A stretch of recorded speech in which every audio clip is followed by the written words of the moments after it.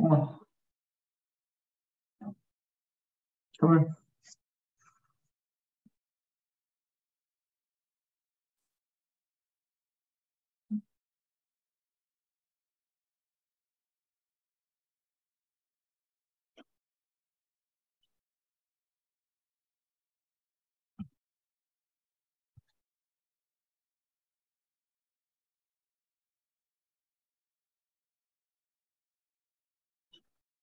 And you say, well,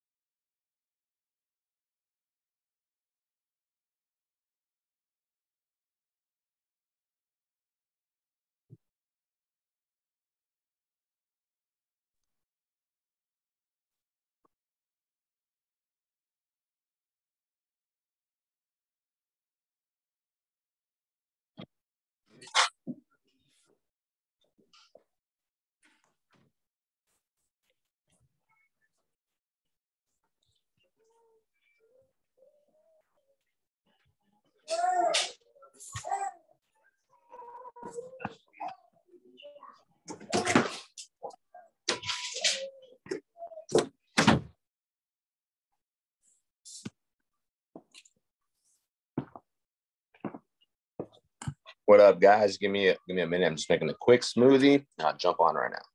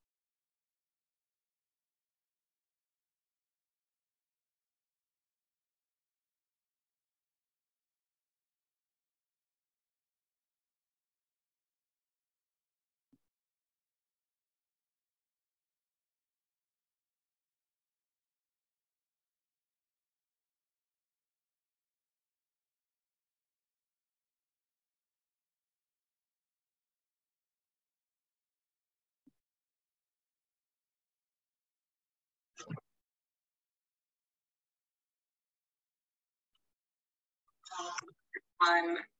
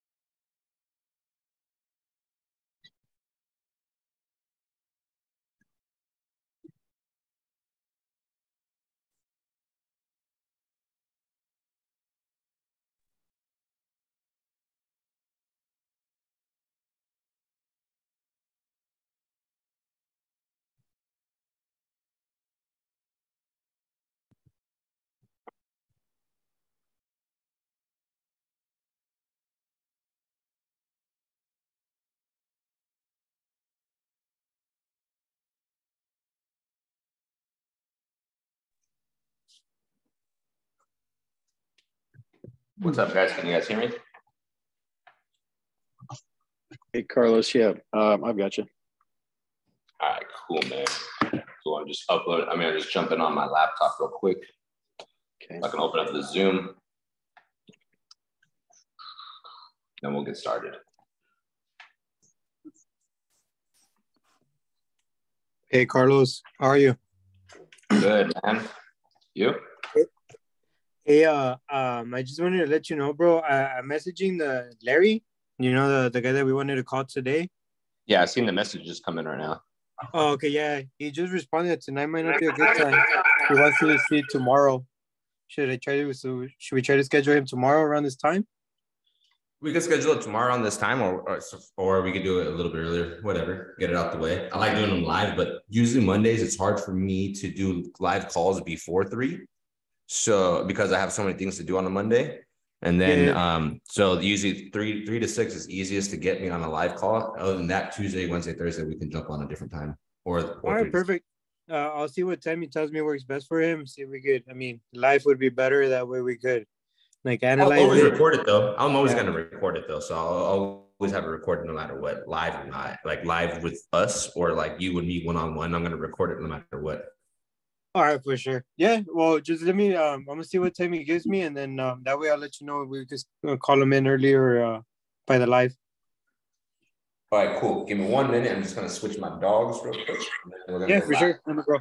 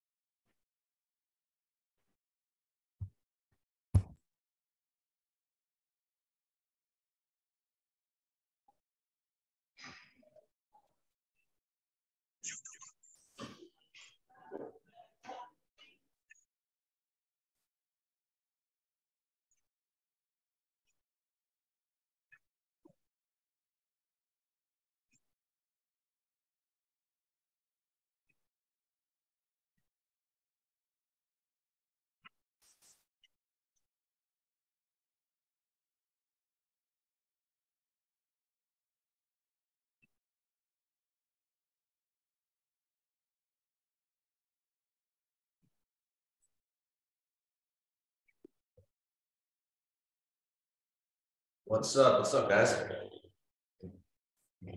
Better to rock. Better to rock. What's up, man? What up? What up? How much? How's everybody doing? Great. And you? And I'm always good. Always good. Good busy Monday. Roll. I mean, last Saturday and Sunday were really busy too. Uh, so it's always good. Cool, cool, cool. Okay, cool, guys.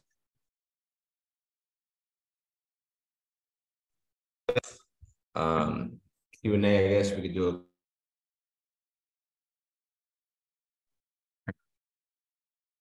Um, don't understand a certain process, how to negotiate a certain strategy. Let me know before we get into some live calls. Um, if you guys need anything that can help you out, assist you guys with, okay?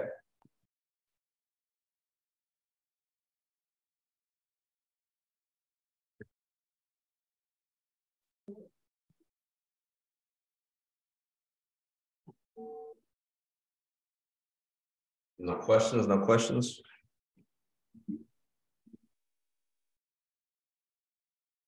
Like we're good? I I don't have like a. I mean, I have a question, but it's more like an opinion, so to speak. Uh, yeah. So I've been. I kind of was helping underwrite a, a deal for uh, somebody in the TTP community. The rehab budget's crazy high. My my question is really. I don't want to get into the details. My question is, at the price point over a million in Texas, I mean, would you think that's even something that? Um, I mean, creatively we can do it, right? But this would be like a flip. Do you think flips are, I guess, doable in this market right now? Is my question. The rehab budget's like 422, give or take. Four hundred and twenty-two thousand to rehab it? 422. Yeah, it's a total burn down. Okay. Price point. What was the over- Price on this thing? The after repair value would be over a million. And the purchase price is? Oh, let me look at it here. Let's see. They agreed to.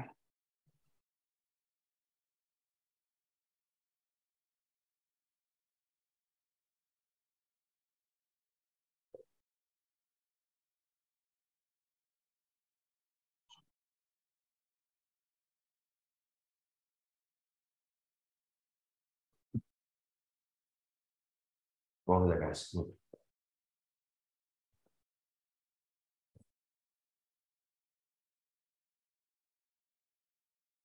Did you, Mason, did you, did you find out the, the purchase price? Sorry, man. I was talking. My I was on mute the whole time. Yeah, it's uh 750. seven obviously that would have to be that'd have to be negotiated down obviously which he was a not totally against but uh yeah I mean, this guy was not totally against negotiating it when it's a complete burn down. yeah he's he's a little bit unrealistic of course right now. I think it's because he's not like here dealing with it. I don't know if he's out of town because of christmas or whatever but he went from like 500 to 750 so and it's a total burn down the the guy who's working the deal he's like a a, a fire what you call it he's an adjuster for for that that an insurance company who deals with fire. So he saw the deal and said man this is a good deal possibly if they were if he was able to get it you know uh, at a creative offer. So yeah i guess my question is i mean the the, the numbers are kind of high. The flipping people the people who are doing flips right now i'm not sure as active as much. I mean what do you think Yeah, for, for you to, for you to do a flip because of this unstable market, we just hit the recession like six months ago. It's very unstable. Yeah. Markets were rising, prices are going down, interest rates have kind of gone down a little bit, but they're still extremely high. The way you look at it is you get a really good deal. You have to get a really good deal for it to make sense. Um, Yeah. when you're buying cash right now. So most buyers, um, if they were buying in your market, depending on your market, if they're buying at eighty or ninety percent of the ARV price minus repairs, those same buyers are probably dropping it down 50, 60 to seventy percent, depending on how hot the market is. Some places where I live, because I live in California, some uh, buyers are still buying up to seventy percent. Um, for a fix and flip that is like a complete burn down, you actually want to get that like at, you know, like twenty cents on the dollar or something like that, thirty cents on the dollar, like, because it's gonna take a lot of time. Check it out, a whole burn, right? You want to get like a twenty cents on the dollar, because it's gonna take X amount of months to get this done in an unstable market, which we don't know what's gonna happen on that price in the next five or six months. I mean, it's not gonna go up. But I don't know how much more it's gonna go down. So because we can't predict it, you want to basically go ahead and, and be conservative and like Duran said, or not treat it like a vacant lot, basically. It just needs to be basically wiped out and then do else. Yeah, you definitely want to get 18 to 20% on burnouts as low as you can. This homeowner is going to be sitting on it. It's burnt down, it's probably paid off or whatnot. He's going to sit on it. And we can do a novation. It's a little bit different where right. um, it's still that 455,000 that's not gonna work, right? You could, you could maybe give him the money he's looking for, but that, I don't even think five hundred would work. You know, I honestly don't think that's gonna work either, five hundred, like, you'd have to be, like I said. Two hundred thousand or something, three hundred thousand. I mean, he has, he's, he's not doing anything on the deal, he, it's a burn deal, and he wants to, the person wants to be um, very firm. This could be a follow-up call or like, you know, you just let them know what you can do and how you look at these deals. This is a, this is like basically land, You got a whole burn home on it, right? So I'm gonna have to replace, even how long that's gonna take me. And then in this unstable market, when nobody knows what's happening, I mean, it's like two thousand eight.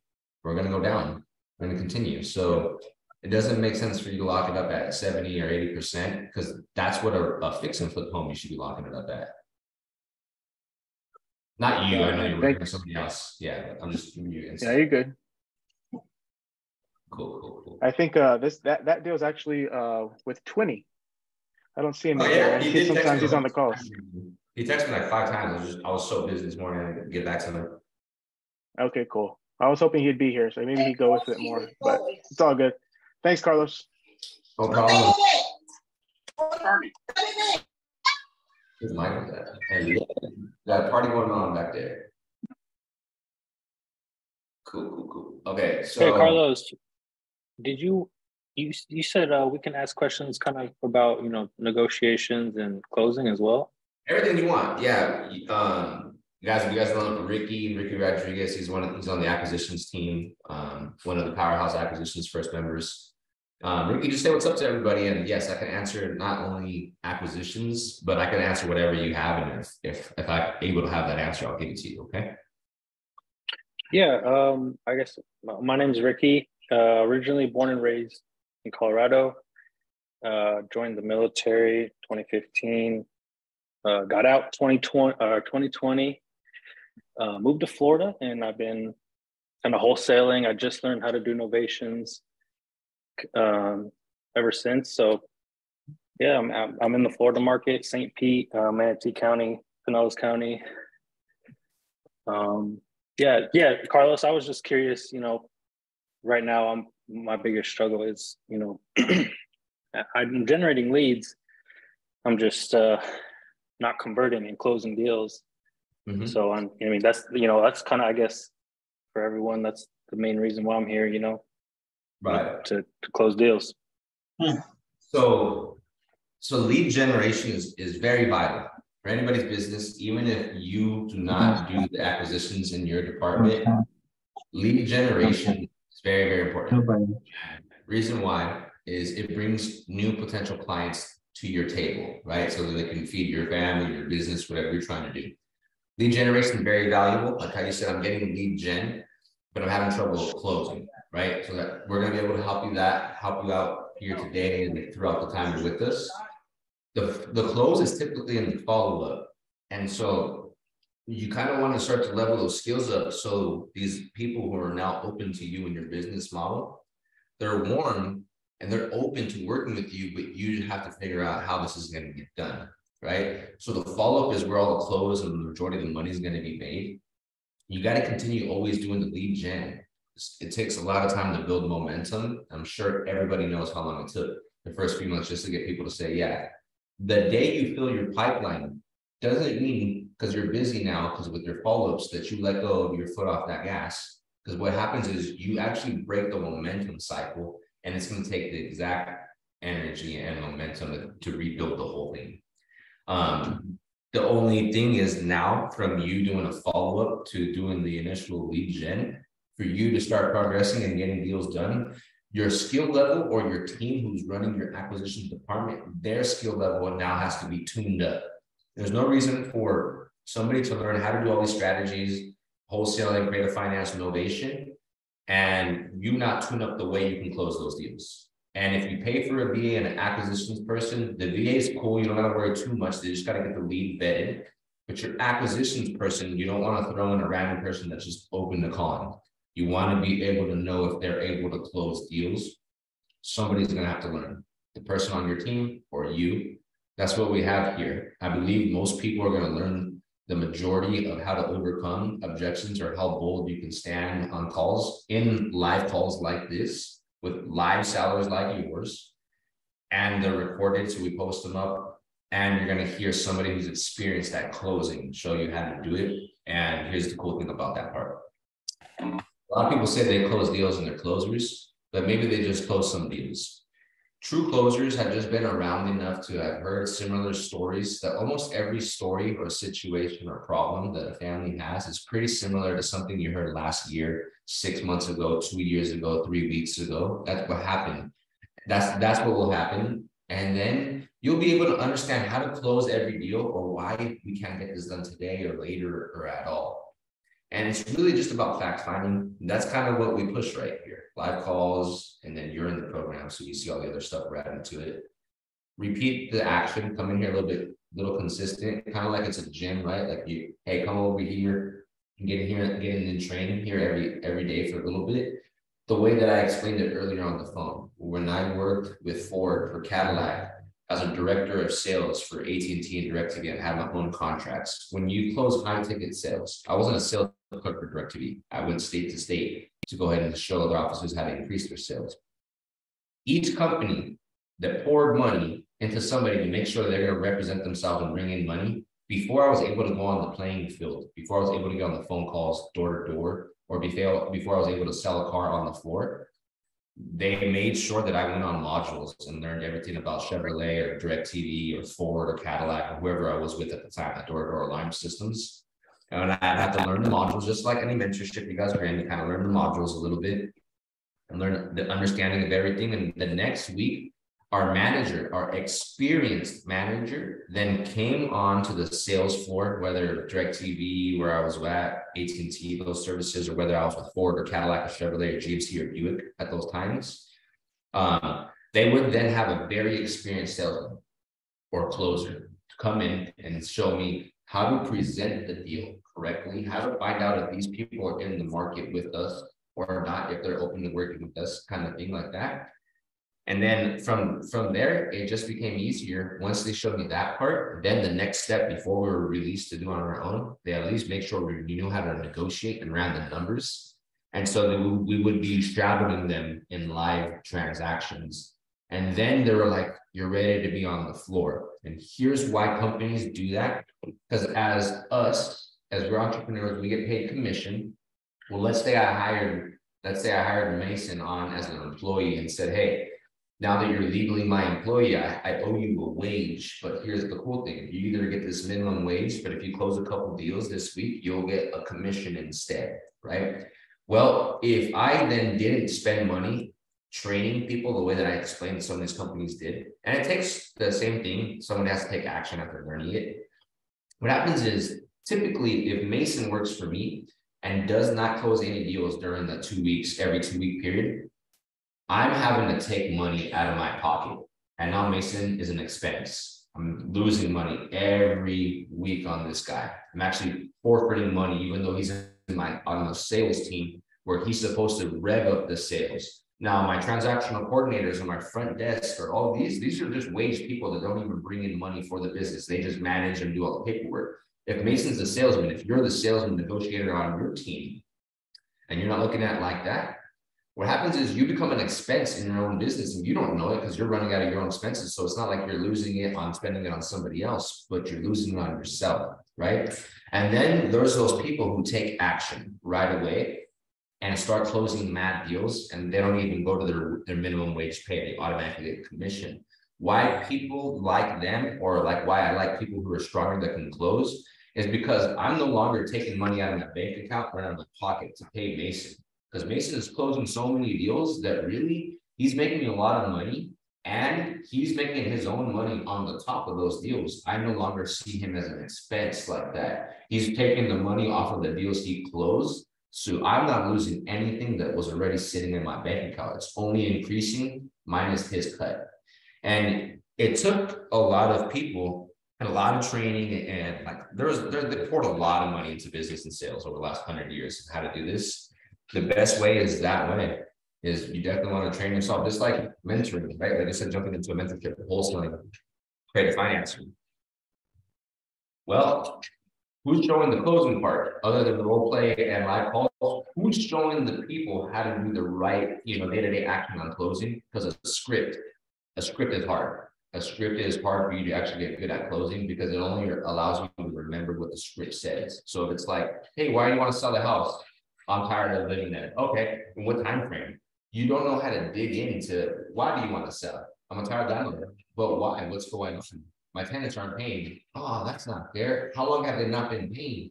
Three months. How much were they supposed to pay you those three months? Twelve hundred a month. So you lost out on thirty-six hundred, right? Yeah. Do you have the do you have a mortgage and a payment on that? Yeah, a thousand. So you really lost three thousand. That's not fair. Do you think this will ever change for you or no? It won't. Then you move on, right? The script won't tell you how to do that. The script won't. They just allow you to remember what the hell's on that page and then read it word for word. Sales training for your own business. If you're the one that has to close your own deals, for sure, recommend you to look at it like this. Hey, I should take a step back and consistently work on this skill for at least a couple weeks consistently, because nobody ever got great at something doing it part time one one week on a Monday, right? Like when you started working out, you started driving your car, you started tying your shoes, whatever the hell you were doing for the first time, you're playing a sport. I mean, doing it once a week for an hour or two for eight, eight to twelve weeks ain't gonna teach you much shit. It's gonna be very hard because it, you first, you're not consistent enough. Second, you don't know that much about what you're doing. So if you have to break it up seven days apart, how much can you really consume? And how much can you really like retain in there, right? So it's like this, fastest ways to get good at sport, to get back into shape, everything is, okay, five days a week, I'm gonna go practice on that sport. Five days a week, I'm gonna go to the gym and diet and, and everything else and do cardio. If you're not willing to do that, you're gonna be stuck where you're at right now. And it ain't, ain't gonna ever change. You're gonna get smarter. You're gonna know creative financing, you're gonna know wraps, but you ain't gonna ever start closing more deals unless one, you get better, or two, you hire the right person on your team to close. And that's the truth.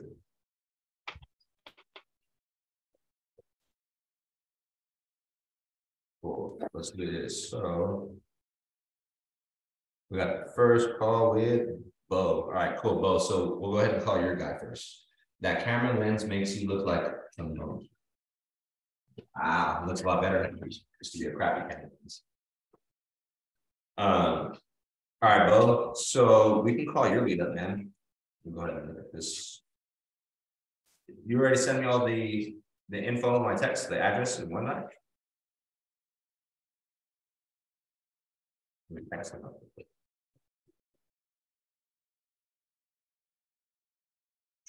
Rigo, I'm down for yours too. Let me go through Bo, we'll go through Rigo. And then I got Duran. I got a whole bunch of calls today to do. So let me do this. Bo's lead. Duran. Duran.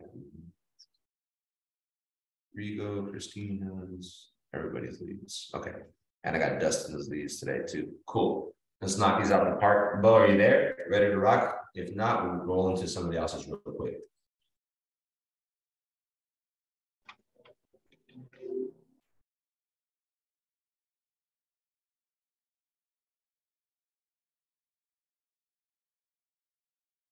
Hey, uh, Carlos, you there?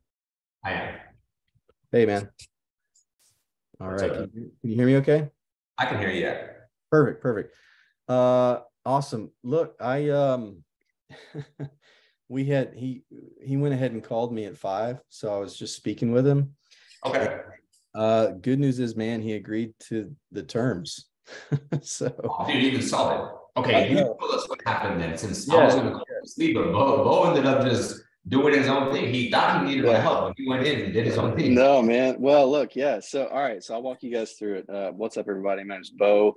I'm an investor wholesaler here in Middle Tennessee. For some context, uh, done a couple. I've actually done about seven deals, traditional wholesale, and started learning about creative finance. So reached out to Mason and Carlos, and they've been pretty incredible to work with. So, um, so I had a um, a guy that I had to deal with uh, back in October, actually, and he had a, a house that had burned on the inside, and um, we went under contract, but weren't able to do anything. And I said, look, you know, if you've got any other properties that you're looking to sell, I'll look at them. And we also do owner financing. You know, at the time, I really didn't know how to do owner financing, but I could figure it out. So he was like, okay, yeah, let's uh, let's do it. I'll send you some properties that I'm interested in selling. And so he sent them over to me, and it's been kind of a six to seven week process at this point.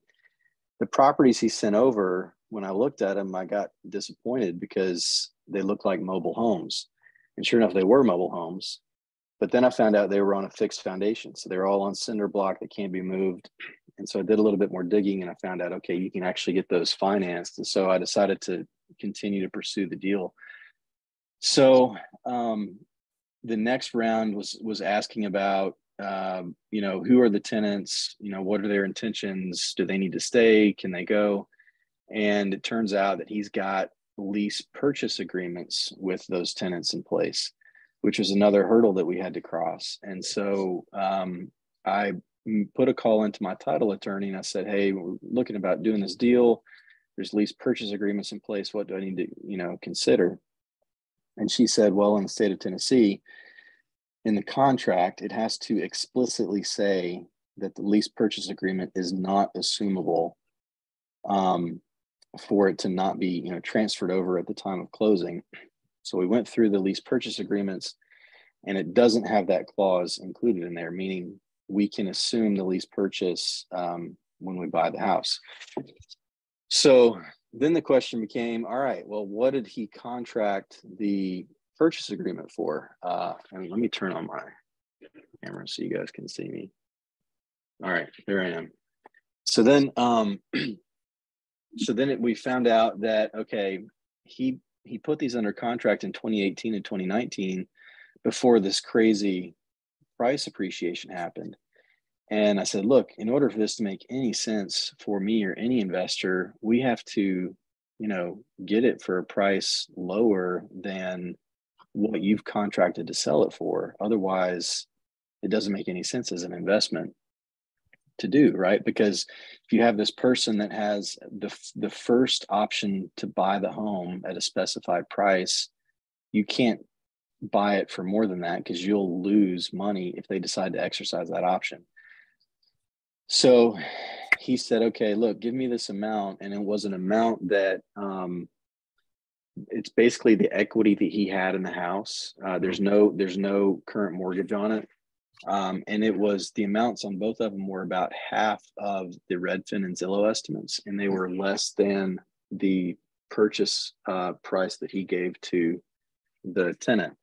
So it it worked out, and so we spoke about the price, uh, and then we said, okay, in terms of the um, the the remaining terms, what are you what are you interested in? What do you want down? What are you looking to get per month? How how many years out do you want to um, schedule this? And we went back and forth on that for quite a bit. Uh, and Carlos and, and Mason were kind of helping me along the way with those questions. And so ultimately, what he agreed to was um, uh, basically twenty thousand dollars down on each property, um, with payments of three hundred dollars for one and two hundred and sixty dollars for another.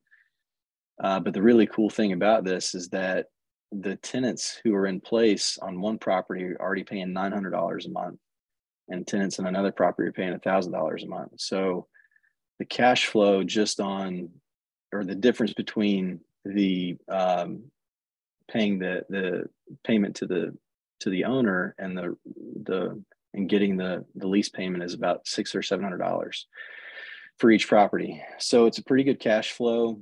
Um, you know, uh, twenty thousand dollars for a property that cash flows um, at about eighty-four hundred dollars a year is not a bad cash on cash return.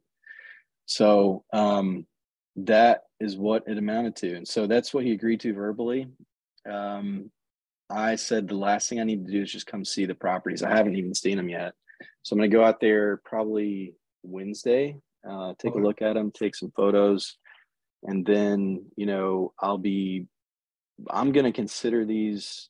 I'm going to consider partnering with these with my brother potentially. He and I have done some deals in the past, but we're also I'm also going to seriously consider just assigning it out. It depends on what you know a good assignment fee would be for each of these. And I've never done a creative deal, so I don't necessarily know, you know, how to bake in the assignment fee for that, uh, Carlos. Well, how would you? First of all, any questions from anybody on all of that before I start peppering Carlos with my question? Awesome deal that you got, man. That's pretty, pretty insane. Congratulations. Yeah, thanks, man. That's Uh, amazing. it was a it's a journey. It's still a journey. You know, we'll see. Um, hopefully, it comes through. Uh, right now, it's looking like it will. So, um, and then we'll have signatures by the end of the week. I hope. Thank you. wow. Hey, Awesome. Good. awesome. Awesome job. Yeah, man. Good stuff, bro. So Yeah. twenty grand down a piece and they'll make, they both rent from nine to one thousand, right?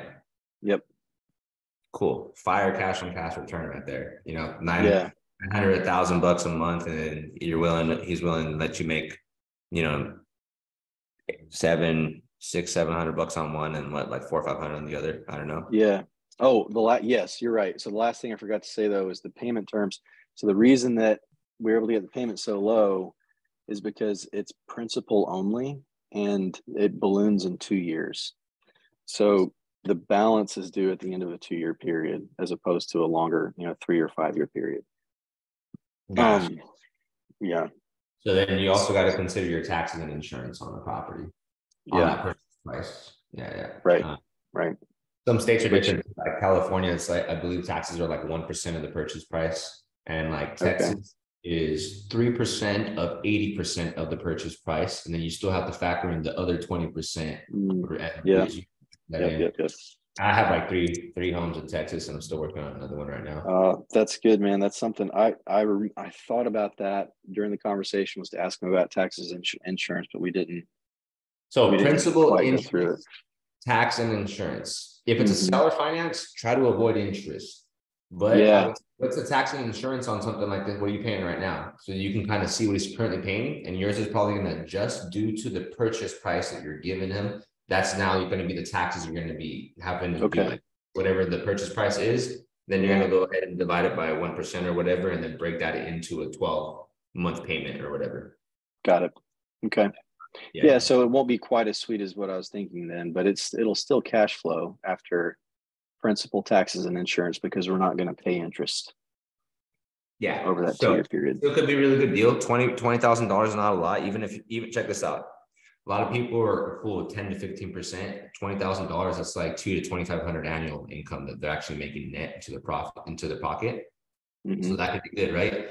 He's open to working with you. What I recommend my, my members and everybody in here that to do is once they're already open working with you, you come in with a game plan to sweeten the money down. You, hey, look, I could still do this. This is where we're at though, and try to reduce the amount of money down just by a little bit and see. See, so reduce it like if your goal is to get at least two to three to four grand off, hit them with like six or seven grand off.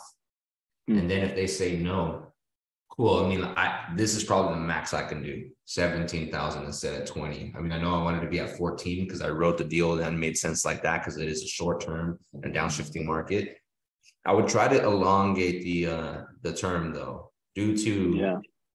to the fact that typically you're gonna go ahead and, and clear out the remaining debt through some type of refinance option.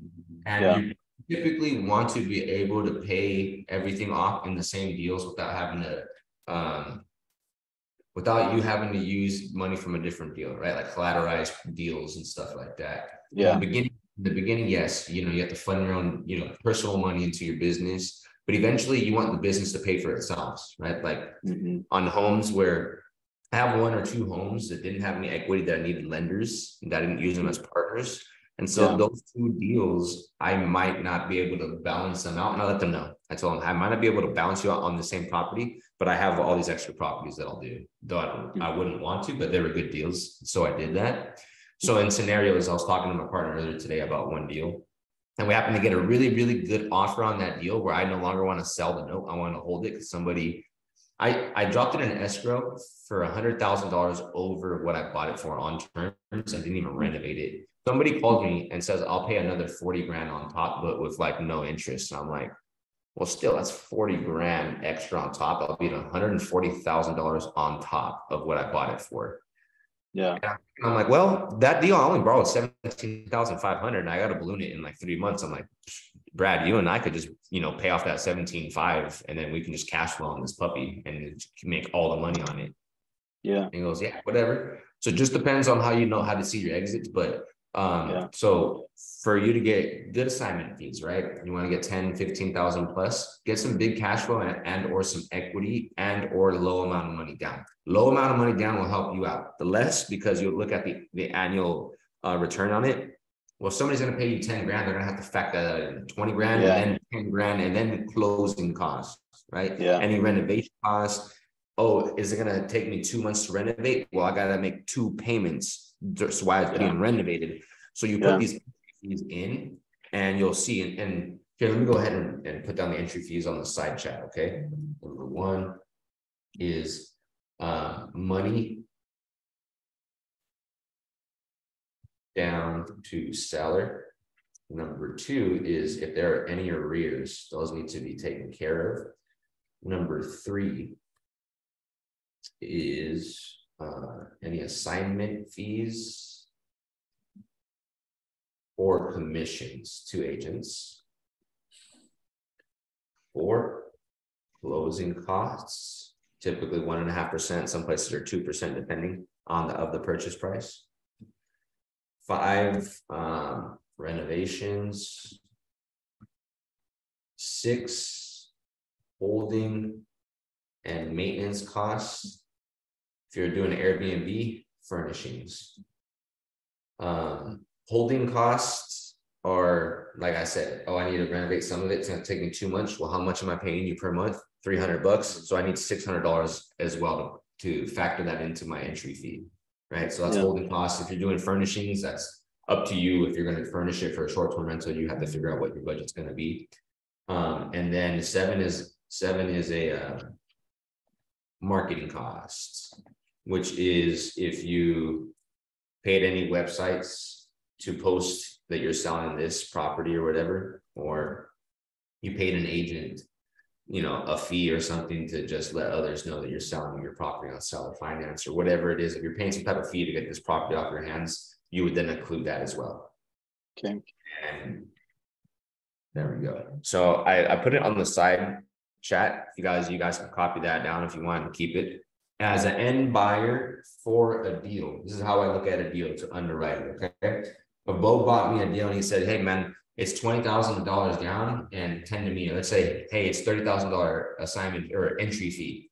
I'm like, okay, those thirty thousand, does that include everything or is it just money to the seller and money to you?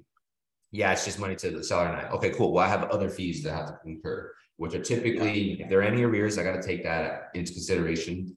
If there's a, a, a commission to an agent besides your wholesale fee, mm-hmm. if there's closing costs, which there is, if I'm trying to buy it, right? Any renovations and then holding, so typically it'll be like a holding cost or. So it'll typically be money to the seller, then an assignment fee, closing costs.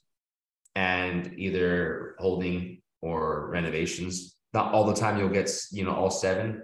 There are times where I get all seven in there, but a lot of the times it'll just be either money down to the seller, somebody's assignment fee, a closing cost, and typically renovation and holding. Those are like the most important ones that always usually come into the deals that I see. Yeah. But you guys want to remember that when you're marketing to your end buyer. And so how you look at it again, you look at it is okay, you want to charge 10,000. What's their cash on cash return? Just like how you were seeing it, right? You're annualizing 20 grand and it's making 8,400. And you're like, okay, well, twenty grand at ten percent return is two thousand, right? We times that by three, right? We're at 30 30% and we're now at six thousand, but you could still bring in eighty-four hundred. So uh, putting twenty thousand dollars down and bringing in eighty-four hundred dollars um profit, like net profit becomes like a forty percent cash on cash return. So if I were to say, okay, it's now thirty thousand instead of twenty thousand dollar entry fee, Yeah. now you run the numbers again. Even if it's still at twenty plus percent, bro, that's still a deal. Like people are cool at ten to fifteen percent. Most people want to be at that twelve plus percent on their money. Okay. Um, so if you could just know, okay, if I could still get them 12, 15 percent and charge 10, 20 grand in there, if you can still get that number, or even if you can get it even higher, like let's say you put 20 grand and they still getting 20 percent, it's like, okay, I'm with it because it still works. That's how either some type of equity or enough cash flow when you put all the numbers down. Um, the total entry fee, 50 grand, like a deal that I was working last week that I should be closing this week. I did a live call on this deal in Florida. Homeowner wanted four hundred and twenty thousand for the purchase price, fifty thousand dollars down. I think I showed it to TTP on Friday, actually. If you were, if you were in the boat, that one call that I had. Mhm. Um, the fifty thousand dollars down, and I said, okay, well, fifty thousand dollars down, and the house was free and clear, and the market rent was twenty four hundred. It was, it was like renovated. I said, with that much money, I mean, that, that's, you're gonna allow me to make the majority of the money on this thing? He said, yeah, and so. I basically where I left it off was four hundred and twenty thousand purchase price, fifty thousand dollars down, four percent interest, fifty-five year amortization schedule, and it was like a. Wow. Like a thirteen hundred dollar payment, and so now he was allowing me to make eleven hundred dollars net, eleven hundred net times twelve is what, like fourteen grand? Well, if somebody putting fifty thousand dollars down at ten percent, that's five Gs, at twenty percent, that's ten Gs. Now I'm like, okay, this is like twenty-five to thirty percent, even with fifty thousand dollars down, this is a deal. Maybe not for me to, to buy it. Um, but a wholesaler would definitely, or I mean, another investor will buy this for fifty thousand dollars down and to be able to make 12, 15 grand a, a year on this, that's a solid deal right there. My goal is now, after he spoke to his attorney, my goal is now to sweeten the whole deal up. Now I'm gonna push for thirty-five thousand dollars down and probably meet him at forty to forty-two to forty-three down. And then I'm gonna try to push for a sixty to sixty-five year AM, so I can make a little bit more money, and I'm gonna go until he says no. I'm gonna go until he, until he tells me no, or he's about to hang up, that's when I knew I should stop. Trained by a set, trained by a hardcore salesman, this is, how we were trained, I'm gonna show you how to sweeten up things, once they're already open to it. The next call is sweeten that shit up, no matter what, you already heard them a thousand times. No, I can't do this, I can't do that, doesn't matter, you already went through it a thousand, do it one more time. And go in there, I wrote this down, this is what I can do. And then have your max ready to go, like, okay, I can jump up a little bit more. And see what happens, if you don't, then cool, you're already underwrote to, to make sense. And if you win, higher fee for you or higher cash on cash return for you. Get me? Yeah. Yeah. Absolutely. Yeah, that's good, man. Um, so, so let me ask you this. Um, uh, for a, a two-year balloon, um, I mean, they're sitting at like six, 55, 60% of the, of the Redfin and the Zillow estimate. I mean, couldn't I or some, some investors just go in there and refinance it and get the cash out uh, almost immediately and pay him sooner? Um, I guess Yeah, just- at it just depends on the 50%. numbers. So at fifty percent, like if this deal was, you know, creative and then he wanted market price, it wouldn't make sense to, uh, for us to refinance because then we would get market interest at market price and that would kill your cash flow. That would Right. kill it. But in this deal, in this scenario, you could lock it up and even show it as a, as a sub two, but you might even have a cash buyer to be like, I'll buy it cash, bro. Because Yeah. if you're getting at fifty to sixty percent and somebody's like, okay, well, I could refinance it and still get six or seven percent. It's a high interest, but they have a reduced price, which means that their payment is still less than market rent. That could Yeah. still work, right? Like this whole deal can still be worked as a, a creative guy can buy it and just like automatically refinance it in like five, six months if he wanted and get you Yeah. completely out of the deal. And now he has a new loan at like a high interest rate, but he is gonna be, you're still making a lot of money on it. So yeah, I believe that somebody can do that. My my thing is I'm not trying to lock up anything at two years and I blame the market. There has to be a bad guy. When I worked in the car business, I was a salesman. You guys all probably purchased cars. It's probably been annoying. You probably seen a, a salesman, then a closer, then there was somebody that's underwriting the deal. Well, our our our uh, underwriter, the one who controlled all the numbers, he would say he would when I go in his office and renegotiate with him to then see what I can negotiate with the clients. He would say, use me as the bad guy. This, yeah, we can agree with them right now. They're totally fine. They got approved at this interest rate at two percent. Their payment is six hundred bucks with that two thousand dollars down. Don't let them know that though. Fuck that. Let's go make some more money. Go and tell them they got a six percent. So then we could. So the car business is the same. We did wraps and everything, unwrap deals, same shit. That's why it's pretty familiar. I'm pretty pretty familiar with this stuff. So he'd be like, okay, cool. Well, yeah, we got him approved. This makes sense. Go back out there and tell him that no, he didn't get approved at two percent. He got it at six and make his payment a lot higher, and then get get more money down. And blame me. Say like when you go over there, blame me. I'm the bad guy here. Hey, look, I'm I'm on your side, bro. I- I'm, I really want you to get this deal because I get paid and I need to feed my family. But you see that guy over there? You see how he's always grumpy, he doesn't look happy? That guy, he's a bad guy, man. He doesn't, he doesn't always let me win. Like when I, I've already got him a deal and you're committed to this and he's still telling me, no, I can't do this. This is where we need to be for him to say yes. Even though I already got you approved, everything ready to go. I was just playing you. I was sweetening the deal. I was just playing you, homie. I was trying to make more money.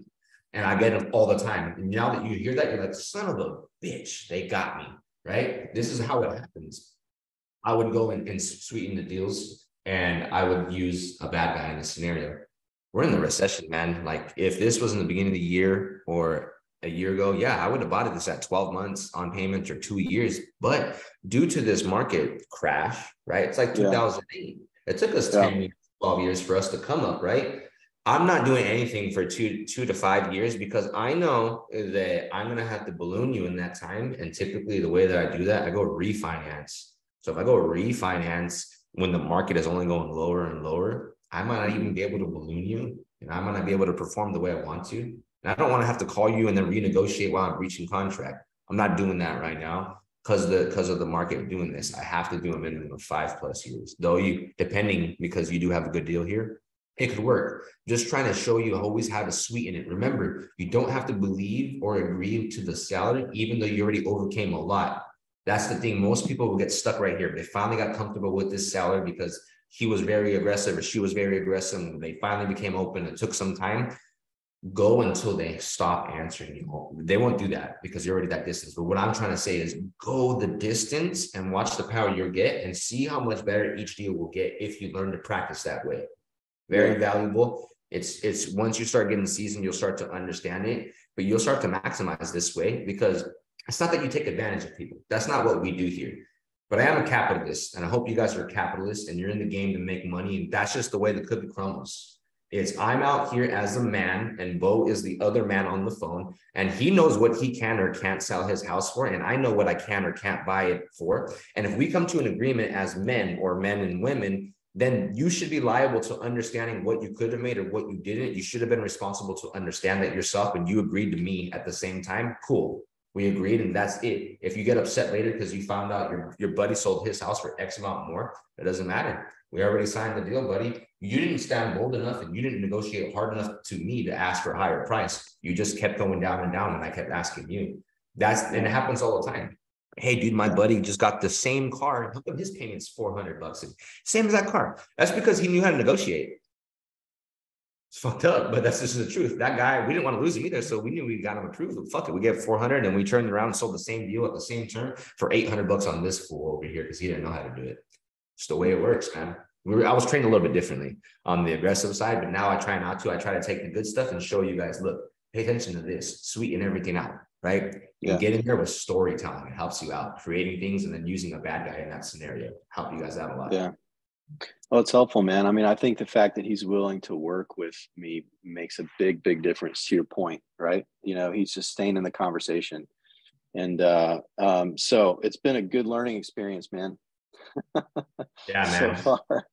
You're gonna learn a I'll lot, probably. It's fun. It's I'll fun. probably have some more questions as we go. I actually do have a little bit more on the assignment side and the financing and everything, but I won't I won't take all the time tonight. Maybe we can, you know, do a part two later this week. Yeah, of course, dude. We can always go on a personal Zoom. I can record it for you and send Okay. it over to you as well. So we you Cool. can have that information. Mhm. Nice. I appreciate it, man. Thanks, Carlos. Thanks, Bo, for introducing yourself, man. And Thank Yeah, you you for bet. the deal you're getting. Congratulations. Yeah, of course. Yeah, thank you. Absolutely.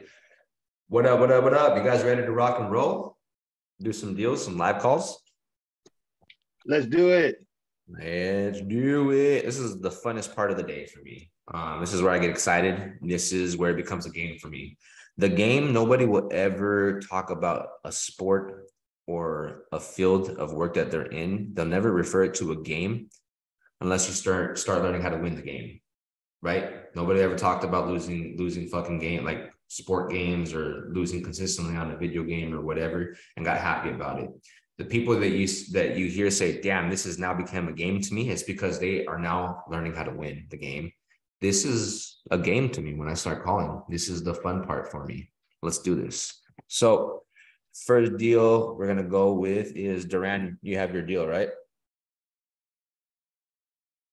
and Yes, sir. here we go okay this is You're the calling. Nashville. Yeah. Perfect. Chrissy, she's the broker for it. Okay. So, okay, even perfect. So this is an agent outreach deal. Even perfect. I love talking to agents too. Um, okay, so let me get this address down.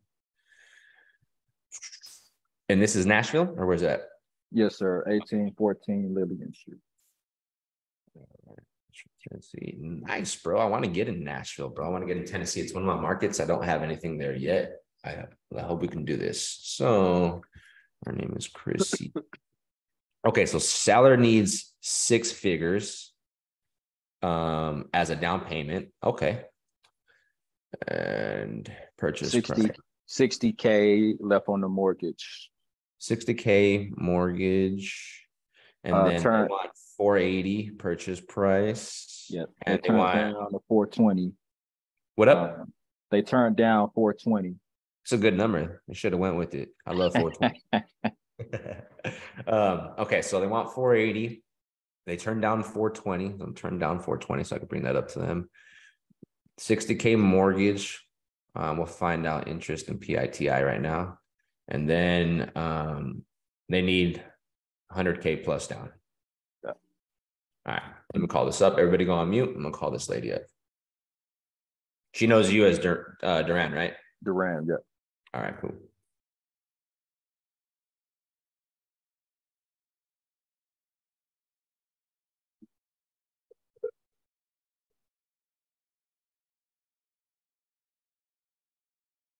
Hello, this is Chrissy. Hey, what's up, Chrissy? This is Carlos. How you doing? Hey, I'm good. How are you? I'm fantastic. Hey, thank thank you for your time. My, my buddy Duran, I work with him, and he had let me know that you have this property listed um, in Nashville off of Lillian Street. Just want to touch base Yeah. with you really quick. Yeah, yeah. Cool. So he brought me up to speed. Let me know that the homeowners they want 480. That they've turned down an offer for for 420. And And they've turned down an offer seventy-five. oh, okay, so they're they firm. Okay, cool. Okay. Yeah, they're pretty firm at four eighty and, and you've really, you know, four eighty like net offer even, doesn't want any concessions at that. Got you. Cool. We're the type of people that can pay, you know, market price. We can overpay things like that. As long as the terms make sense, meaning we can give, you know, purchase price, as long as some way we're making some type of money. And the way as investors that we make our money this way, it's just in the cash flow. Whatever I end up making payments to them just needs to be less than what we can rent it out for. And that's how we make money doing this. And it- so it's not impossible. I, I've locked up three deals in the last like 45 days with agents, Florida, two in Texas, and I'm looking to buy more. I've I've learned this too that a lot of the agents now are now shifting over here, learning a little bit more because I think that it is um it's slowed down for not only agents but for us as investors to, sell house I mean houses or to even like buy properties is just uh it's unstable. So I know that maybe the first half of the year did we did pretty well and, and this last half has been a little bit slower. So we started switching into this type of way that we buy which is really cool because the homeowners are like this one not really interested in taking a discount. Okay cool we could still make that term happen as long as we make some money with you that's all it is Sweet. Yeah, I would be curious. I know that he wants enough cash um to for it to make sense. So he'd want like a pretty substantial down payment. i i, I understood he needed like 100 grand plus right Probably, yeah. Okay. And I see, I see on the note that it says sixty thousand is remaining in the mortgage approximately, right?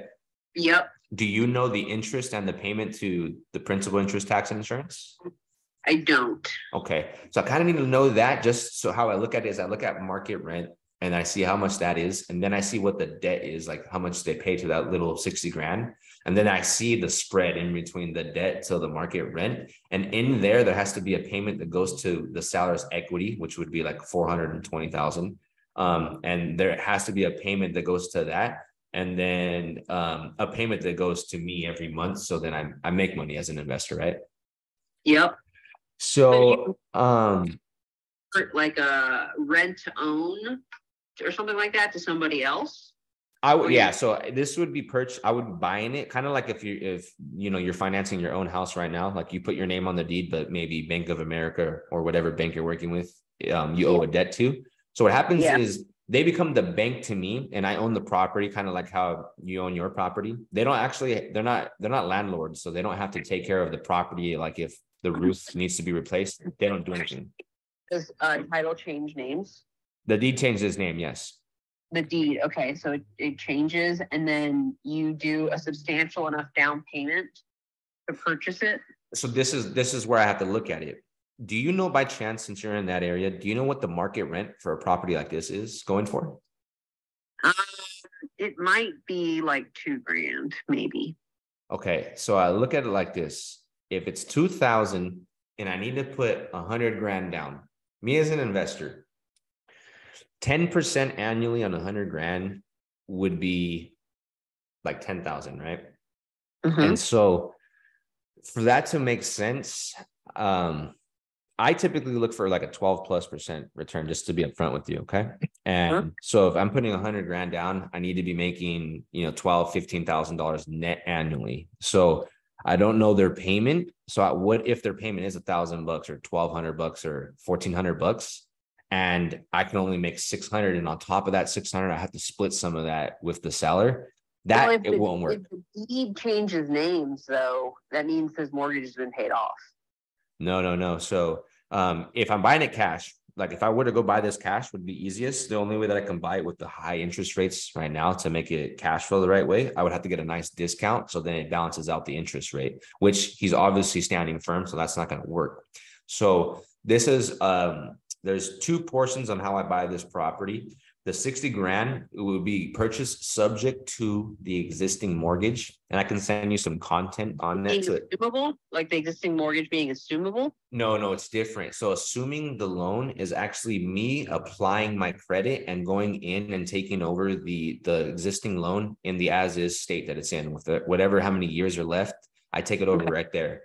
Buying it subject to is just buying it, leaving the debt under the name of the homeowner and me being responsible to that portion plus the the, the everything else a part of the deal, like the rest of the equity. The So- deed, like if he still has a like a, a mortgage on the property, I don't think he can change the name on title. No, no, he can. And I, I do this all the time and I have a few agents if you need to talk to and vet as well. I, I did this Uh-huh. recently a whole bunch of times. So it, it's possible. It's just not everybody has just had this experience just yet.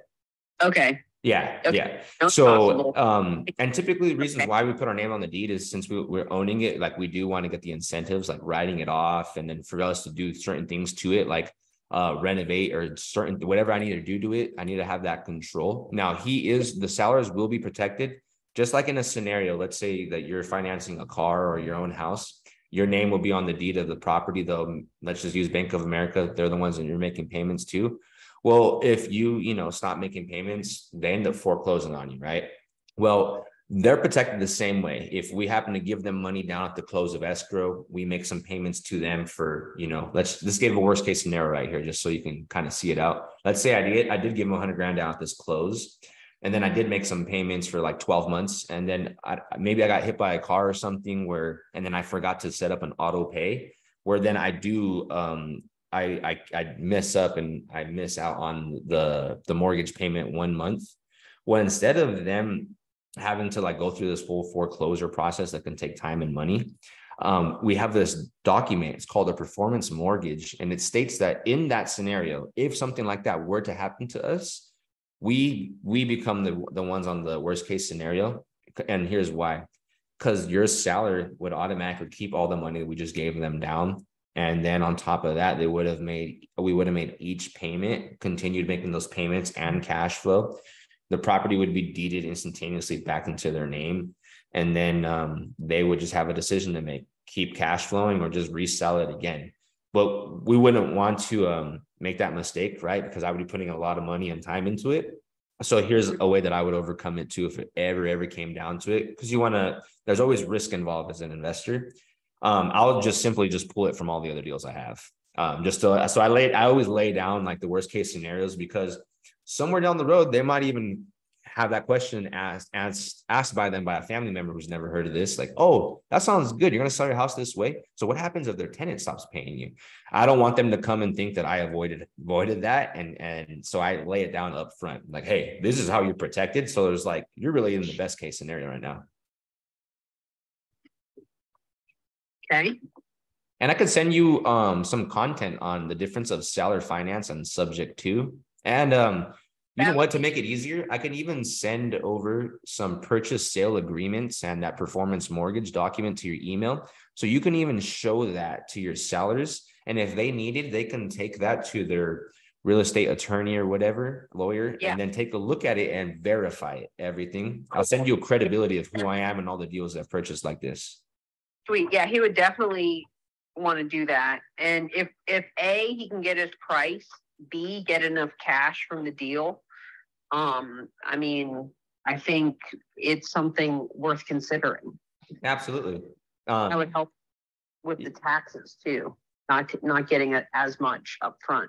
there are a lot of benefits to uh to that is like you said the, the gains they won't get all cash so they won't have to pay gains on the other difference of what we give them down then it's it's still an investment to them they're making they they're getting uh payments every month they manage more if we were to give them cash and they only use a little bit and park the rest into the bank what's the bank going to give you like you know 0.9 percent on your money and, and then with inflation so high you're actually devaluing your dollar and let it sit there if you leave it in the asset at the purchase price that we contracted it at he'd actually make more money doing it this way or she would or whoever Yeah, it's a guy. And Okay. so if like what what does it look like in, in a payment to him? That I I don't know because I don't know what you have. If you could do me a favor and ask them what if maybe they have like a photo of their most recent mortgage statement that shows their exact remaining debt with their interest rate and the payment that covers the principal, interest, tax, and insurance.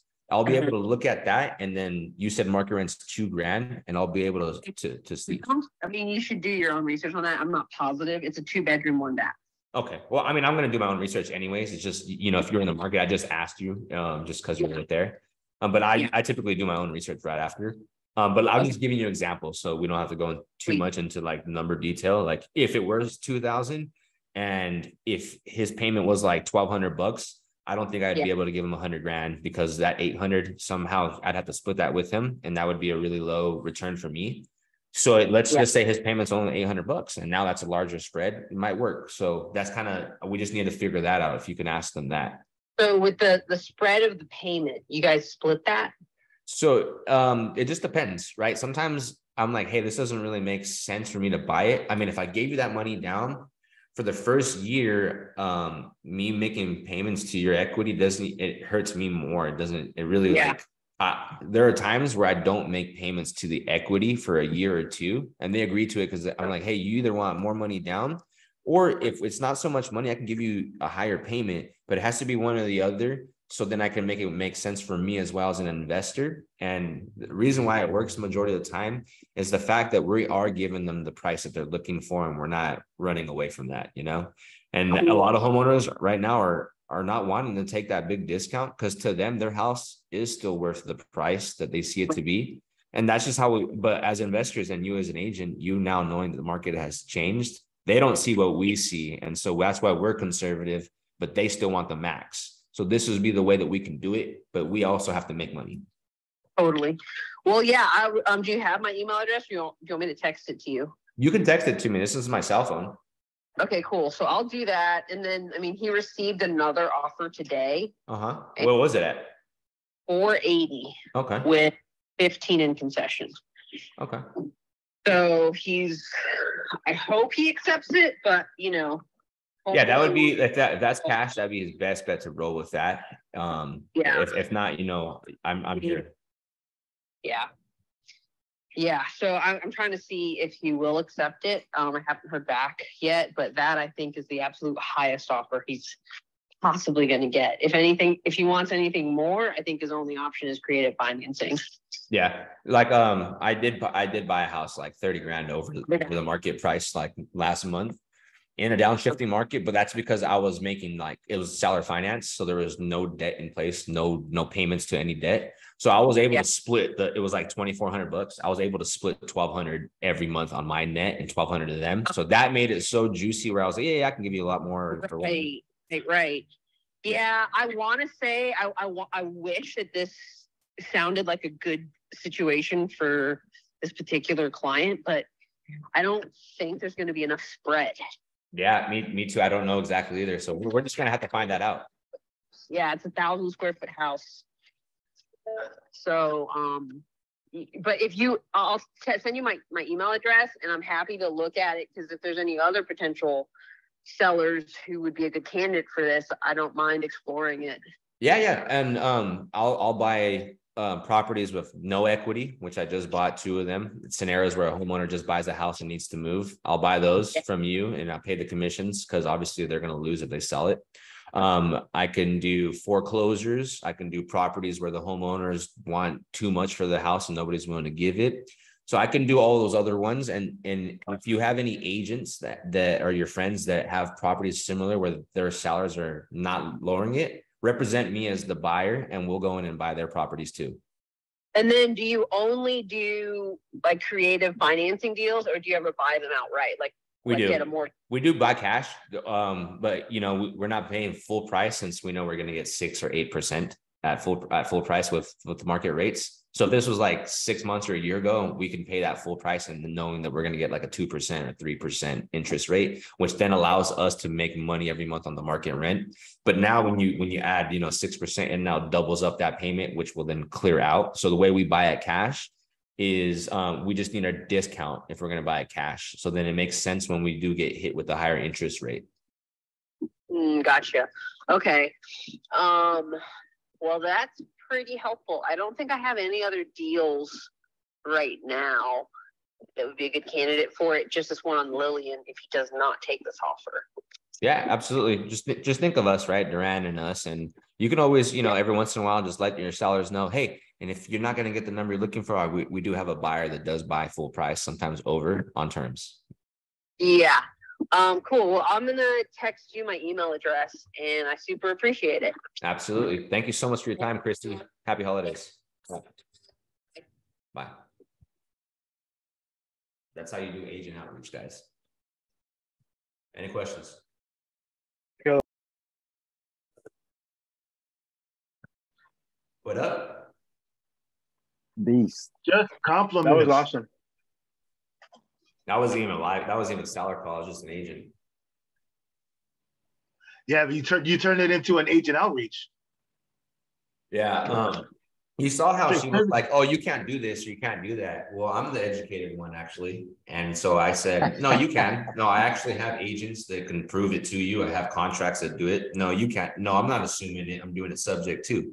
The more educated you become on creative financing, the easier you're going to get to the end zone of this deal. The less educated you are and the less you can respond with confidence and information, the less you're going to make, right?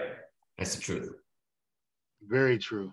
Yeah, I told her. I told her you were a wizard, so I think she knows that now. I worked a deal with Annie at Brejo down here on Saturday with a broker on a commercial property, herself and the seller.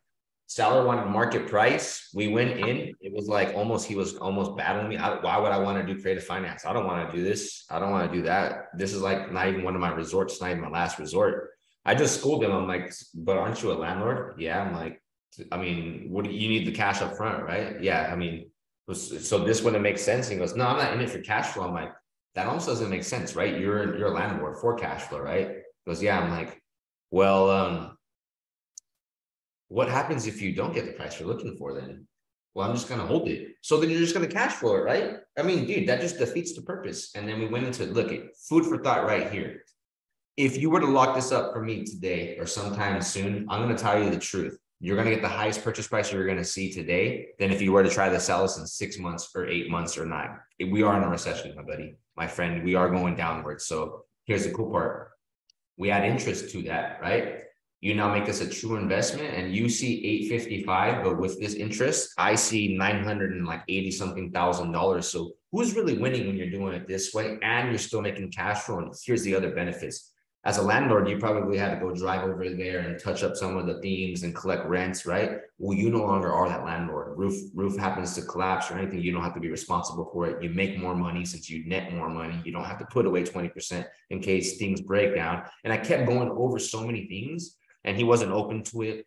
And I felt like he was going to be open to it, even though he was like, no, no, no, no. And then Annie calls me back. He's like, she was like, dude, he fucking wants to do it. I was like, I told you, I told you that I gave him so much benefits and schooled him about the market going down and everything. Then I wasn't rude about it, but he just babbled me the whole time. He was in a car with his wife, his two kids that just got out of football practice. So it was like, why would I need to do that? That's a worst case scenario for me. I would never do that. I just want cash. Okay, dude, well, then I'll give you a low number of cash so that my interest rate allows me to cash flow. That's what I can do for you. I'll do that for you.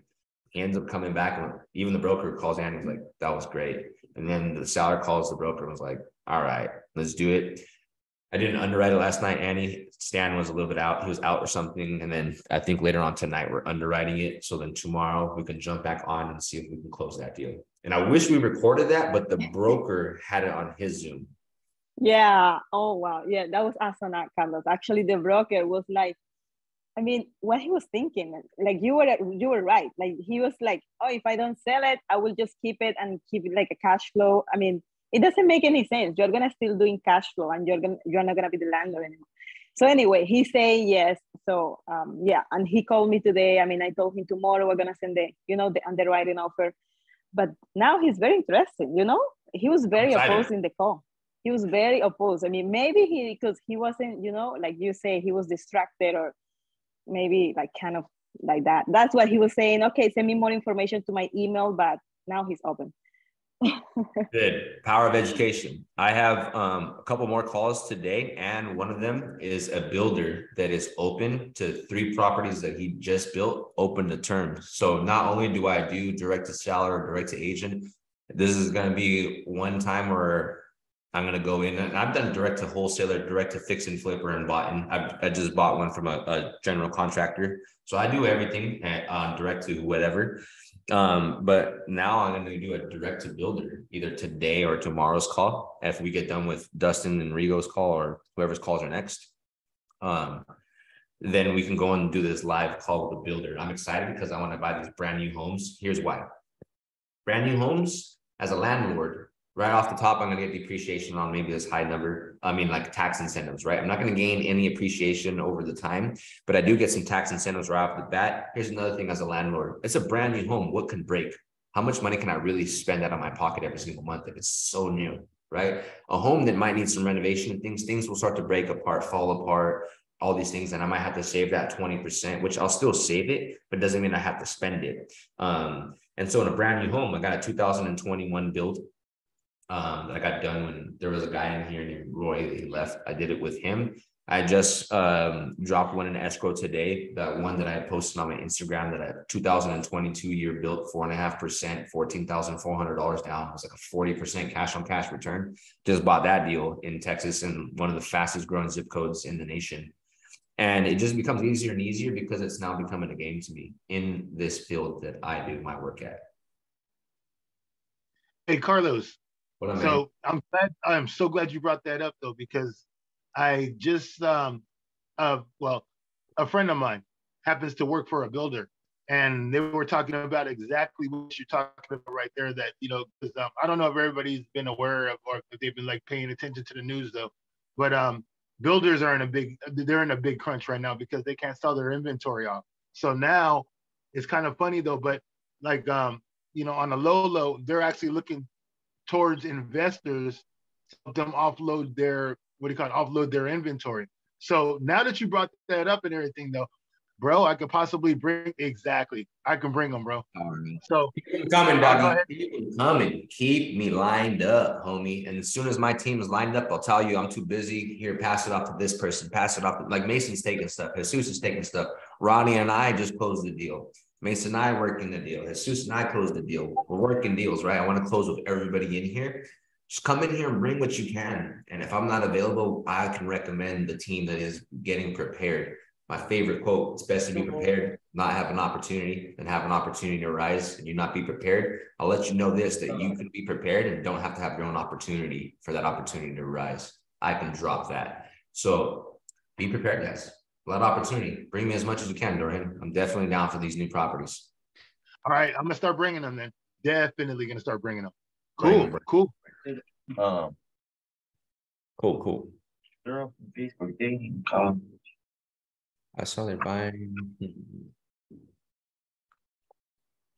Okay, so I got somebody to somebody in sub two just text me saying I, I locked up a deal. Do you want to buy it? You guys want to hear this phone call and get this information down, or I'll call it after this. It's basically me underwriting a deal, see if I want to buy it. If not, we Call can it roll. now. Yeah. Call we can call him. Okay. Or Call we can call him. Call them. we can roll into. All right, fuck it. Let's just do it, so you guys can see how I can look at it real quick. It keeps it spontaneous. Call it. All right, everybody on mute, please.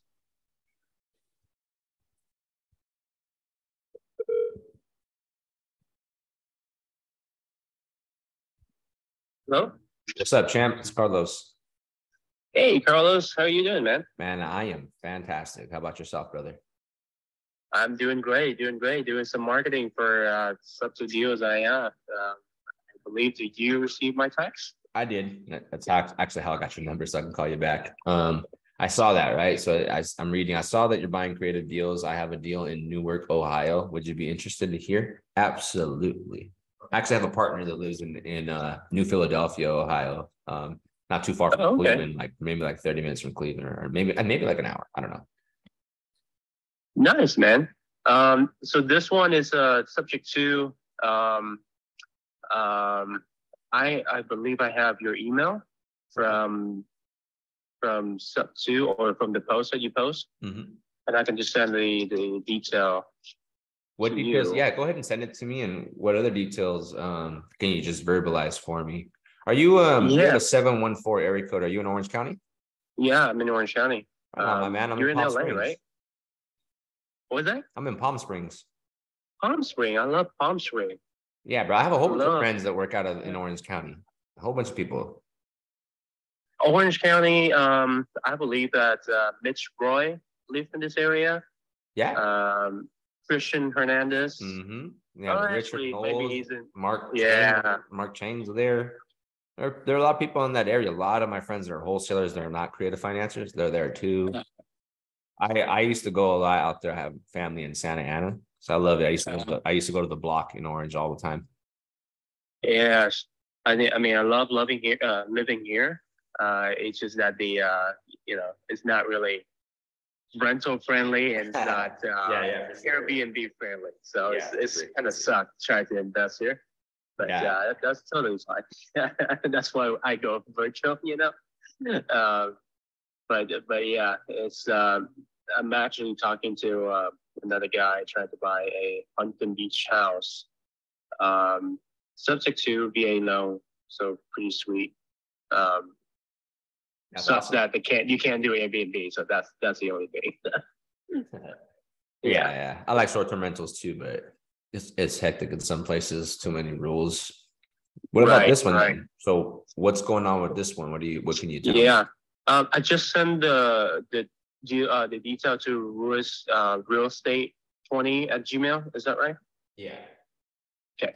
Um, so this one, um, so let me start from the subject two. Okay, so subject subject to balance um, is it is a conventional loan. Balance is um, about eighty five thousand, um, three point five uh, interest rate. Um, seller bought it last year, so he does uh, doesn't really have much equity.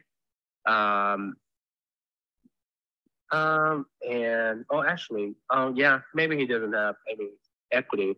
Um, PITI is seven forty-six, Hey, what? uh, seven forty-six, That's a PITI? PITI, Okay, yes. seven forty-six, okay. Okay. Uh, rent I have is, uh, fifteen hundred. Oh, nice, okay. Yep, um, and I, in the, in the email, um, I also have, uh, rental comps, and you can take a look at that. Okay. Um, then, do, do, do, do, do, three bed, one bath, sixteen ninety square feet, ten thousand, uh, almost eleven thousand square lot Okay, and sixty-one built. okay. A Um, nice, so- a nice square, uh, foot lots, a nice, um, size home. Yeah, it's actually one of the biggest one in that area. I can't really find any comps that have the same, uh, same size and same square lot.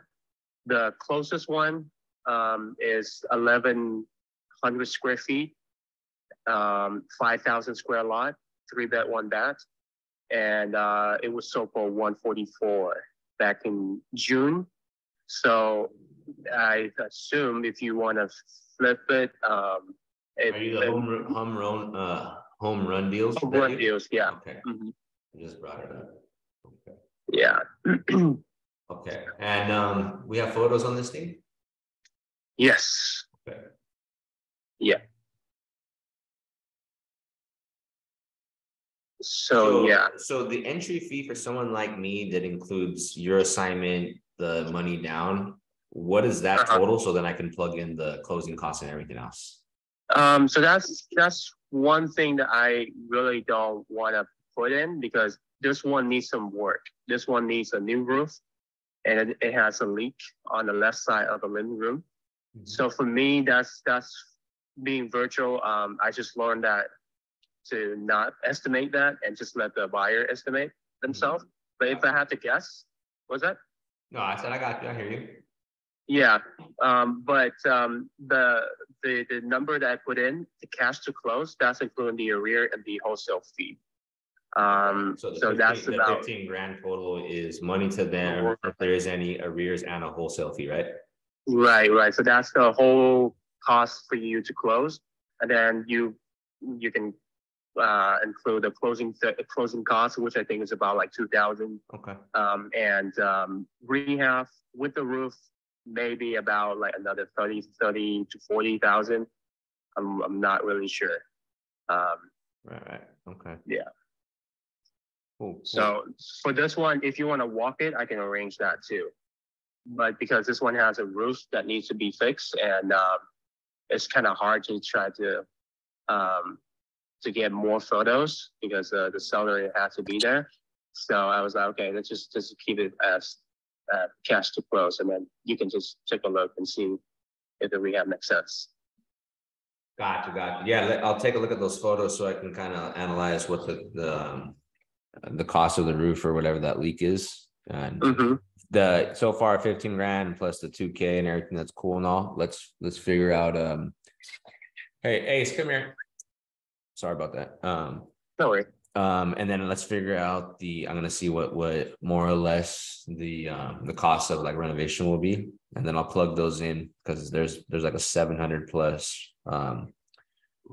Cash flow, like a net cash flow from seven forty-six to fifteen hundred. So I gotta just put all the numbers out and see what the return will be and we can go from Uh-huh. there. We can go from there, yeah. Sure, man. Cool, cool. So, um, and then you did say on the email the photos were there, right? Yeah, so um, it is um, a investor lift link. So if you have an account, you can you can just log in and, and click for the address uh, and see all of the photos. Um, but I can send you the uh, the address too if you don't want to log in. Okay, cool. Yeah, Yeah. yeah, um, yeah, I don't have a login to like Investor Lift, so I mean, just send me, send me, uh, I guess, Sure, photos on it, and that'll help me out. Take a look at it, and I'll get back to you a little bit later, okay? sure, man. Um, anything else you want to know about this this property in, in terms of uh, you know anything else? No, typically, that's all I need, and then I do all my own research about everything else. Right. Okay. Yeah, no worry, man. Uh, this one right now it is vacant. Uh, uh, tenant just moved out. Mhm. Um, and yeah, it used to be a rental and and yeah, and loan is a conventional. Okay. I And got that all down right there, okay. yeah. Cool, Cool. man. Appreciate it. Thanks for thinking of me. If you have anything else, you gotta send it this figure it way and then I'll underwrite this and look at it a little bit later, okay? Yeah, man. Um, I do have another one. Um, um, but this one is in Texas, uh, Odessa. I'm not sure if that's one of your area that you would like to, look at. And also, it's a mobile home, so I'm not sure if that's gonna. Cool. be I'm the guy for. Texas and mobile homes. I'm still cool with them. Um, so yeah, yeah. What's, what's going on? Yeah, just send me that, send me that opportunity then. I'll take a look at that one. Um, let me brief you on that one too. And Okay. see, this one, this one is a mobile home, Mhm. uh, three bed, two and a half bath, fourteen hundred square feet. Um, it's it, it, it sit on a one acre, Okay. um, and twenty seventeen built, so it's pretty new, um, mobile home. Uh, it is in foreclosure, but no auction date, uh, yet. Um, balance, it, it is also a conventional loan. Okay. Um, balance is one fifteen. Interest is four point two. And PITI is uh, thirteen hundred square, uh, sorry, thirteen hundred uh, dollar. Okay, roughly thirteen hundred. And do you know how many arrears or how many months or how much the arrears are? Yeah, so uh, I I know the whole cash to close is twenty seven. Uh, the arrear, I believe, uh, the arrear is about five thousand. Okay. Yeah. And that's Uh, included on the twenty-seven thousand entry fee? Yes, uh, including the cash to seller, uh, arrear and the wholesale fee. Okay. Cool. Okay. Um, and this one, um, this one, so the ba- the subject to balance is, uh, one fifteen. hmm So the cash to close is about twenty-seven. hmm It does need some cosmetic rehab, mainly, um, cosmetic stuff inside. Um, so let's put in like ten grand for rehab. Uh, the nice thing about this one is, um, the ARV is one eighty-five. Um, I, I do have a comps that just sold on thirtieth of, uh, November, November thirtieth. hmm So that's like last week, and it was sold for one eighty-five. Okay. Uh, same square feet, same square lot, and night, uh, twenty nineteen built. So, um, What's, what city was this in again? Which city? this is, uh, Odessa. Odessa. Okay. Okay, Mhm. Odessa, Texas. Cool. I'll Yeah, check out the so- population and everything and, and whatnot in a little bit. Yeah, population, I think is one fif- uh, one hundred and fifty thousand Nice. Big for, market. for the county. Okay. uh, both Midland and Odessa. Um, so this one, if you fix it up, uh, you will have a nice, you know, spread on the equity because this one is low enough. Um, the balance is low enough. Um, so yeah, and then I do have all of the photos there too, so you can take a look. Um, and, and yeah, that's the story of this one. Um, this one, I believe that the PITI is pretty high in, in terms of, um, you know, in terms of comparing the rent. hmm So I think uh, it, it can be a nice wrap. The rent, the closest rent I can find is uh, 1800 um, per month. Uh-huh. Uh, for long-term rental, it might be a little bit too um, too tight. Um, so that's why I'm saying wrap might be better. And uh, you know, you're not. Do you know, do you know if the property is movable, um, or is it real property? Um, is it movable? Uh, nice. Uh, that's a good question. Uh, I will have to find that out. Okay, um, just Uh, because, um, some lenders won't lend me on mobile homes that are, that are not real property. And that Uh-huh. movable, so it just depends, I have to look at that, and then.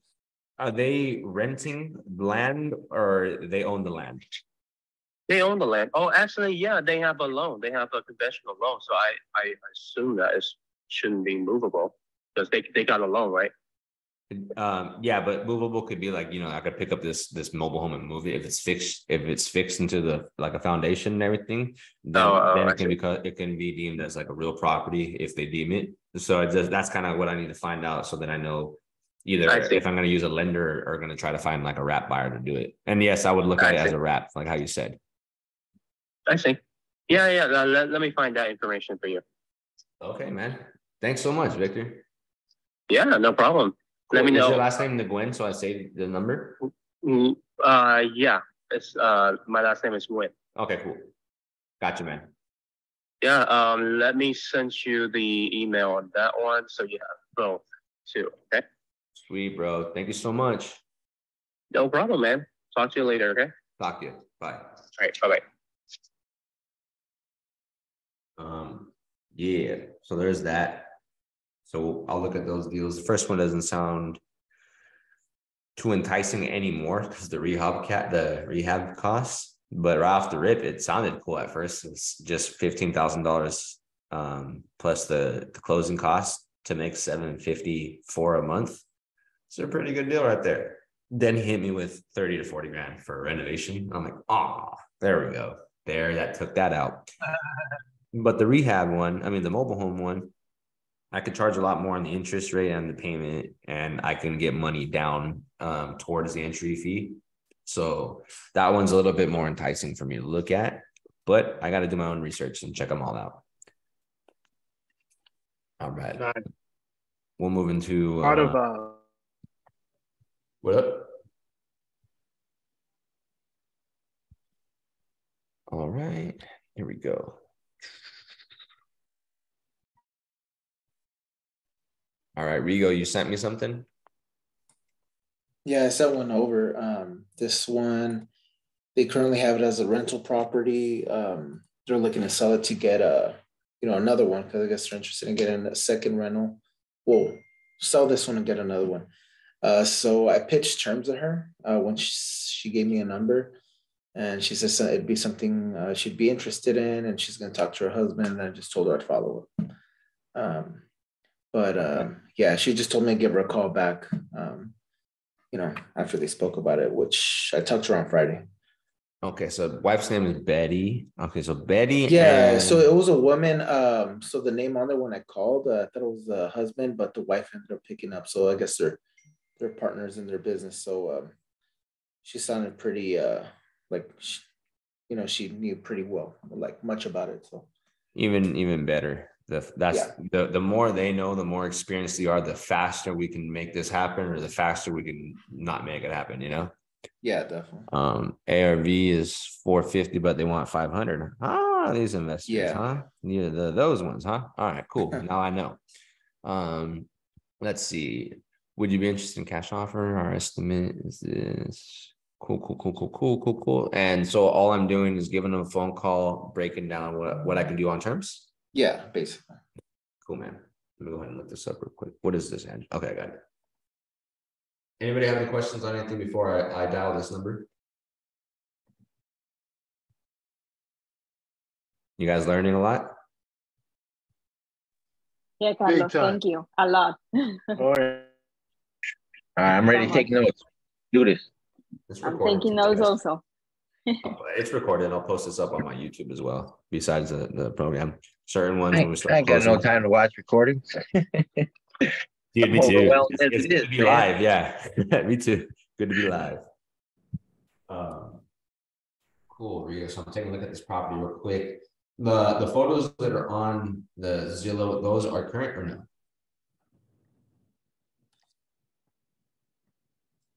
Rigo, you there? Take a look at it, but it sounds like it. Yeah, it looks Okay. uh outdated for sure. It looks, yeah, it, it looks dated. Doesn't look beat up, but backyard looks pretty cool. Um, but landscaping could probably be a little bit nicer. The inside, the cabinets of the kitchen, the restroom. If that is the photos, yeah, it's dated for, for these guys to want to get this sold.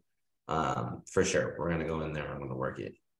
Um, so let me go ahead and call up this lady and and just run through this, okay? And and Rigo or Robert?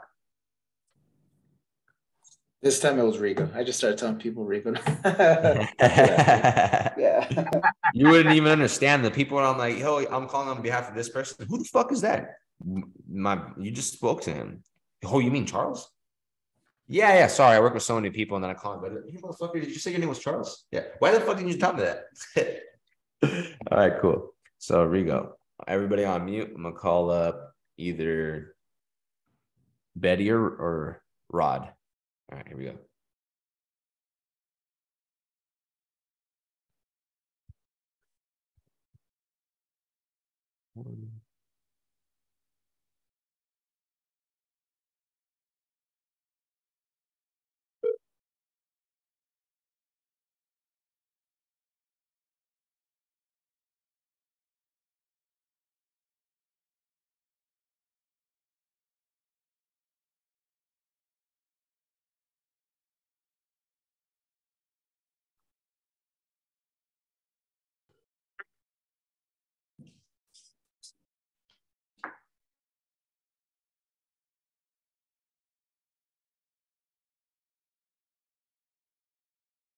Hi, this is Betty. I'm not available.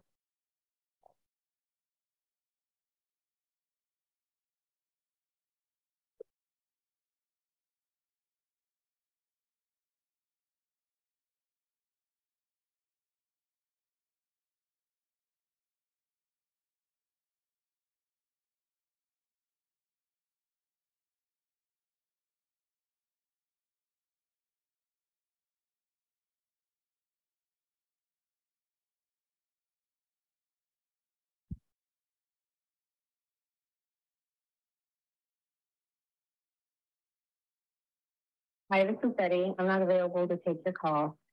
If this is Kaiser, will you please call back? Third? All right, that's a follow-up. Is that where all your secrets come from? That book right there? No, this is the first time I read this book. Jesus. Why did I not read this one earlier? What is it? Who is it by Joshua Weiss? Joshua Weiss. check it out. The real world oh, negotiation. This- What's it about? It talks about negotiations that go around nationwide. I was talking to Ambi about this last night. And um, and the what's really cool about it is it goes into depth about how these work. And they have one where like they go over deals that weren't theirs, but uh, like basically they go over a whole deal that happened in, from international companies to companies within the same uh, states, and then like people deals that had to do with hostages, deals that had to do with drug traffickers that were negotiating with the government, and they talk about how to look at the mindset. And they started breaking down, yeah, typically like when negotiating with like Koreans or or like I forgot Asians or something that it typically likes to build rapport before doing some of these things. And they broke down like how to look at stuff. Like when you talk when you when you negotiate with human lives at stake it's a different type of conversation. You can't make mistakes but at the same time you can't negotiate with criminals. And they basically break down how to look at shit when you when you negotiate in different aspects like saying look if you don't have really good deal and it's it's turning shitty and you have a really good relationship with this people these people you can learn to do you can learn to save the deal because of the relationship you learn how to build then they even talk about how you have a great deal but a shitty relationship. And because you have a shitty relationship it'll fuck up the deal. And they keep breaking down like the psychology of when looking at working at different deals of like what the behind the scenes how to look at the broad spectrum. And i'm like dude this is insane. Like i i i, I um I read in here like one about like the Colombian fucking cartel, like trafficking trafficking drugs and shit, and talking about like how at some point they they like distributed 90% of the world's cocaine and like how they had to have a, a negotiation with the government.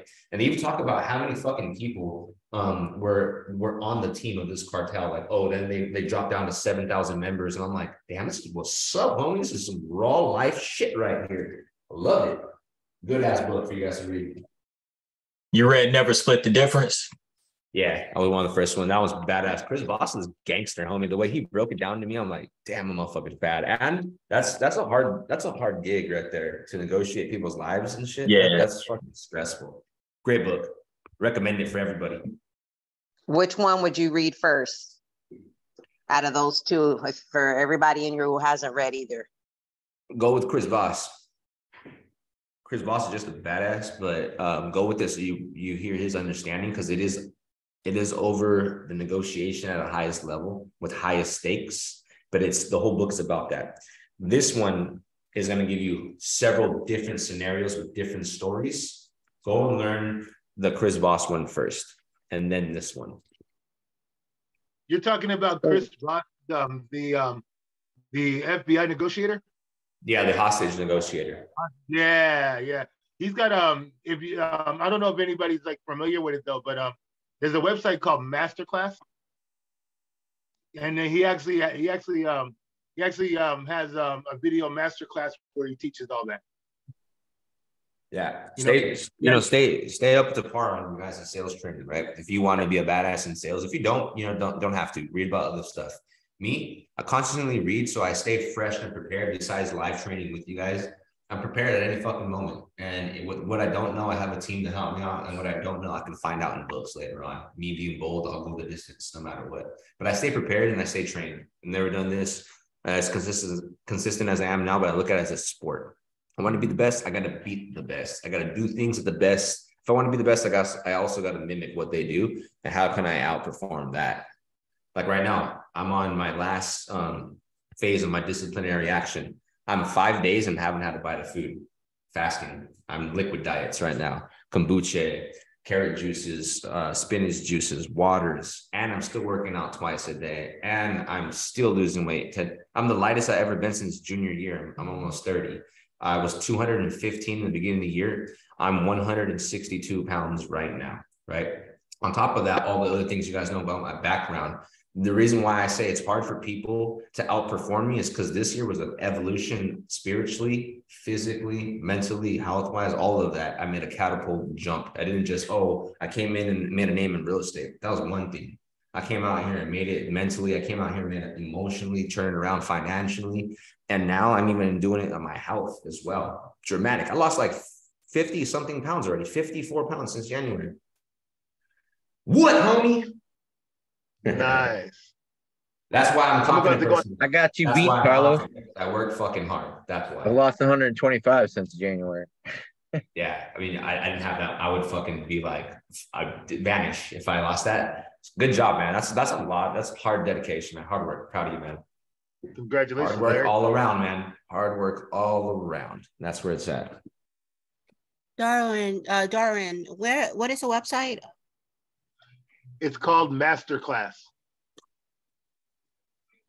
If you type in, if you go, if you go on Google and type in Masterclass, and then um, like he said, Chris, and then his last name is um, B as the Victor, O S S, it'll pop up. Okay, thank you. No problem. Thanks, Carlos. No problem. All right, I'm gonna call. So Rigo, we'll just follow up with that one. I am gonna call Dustin's lead real quick, or is it? Let's see. Submitted. Okay, cool. This is Ren. Give me one second while I read the notes real quick, guys. And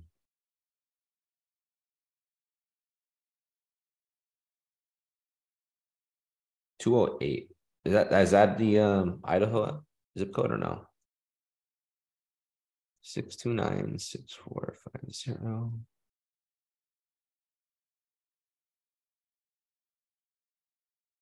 Okay.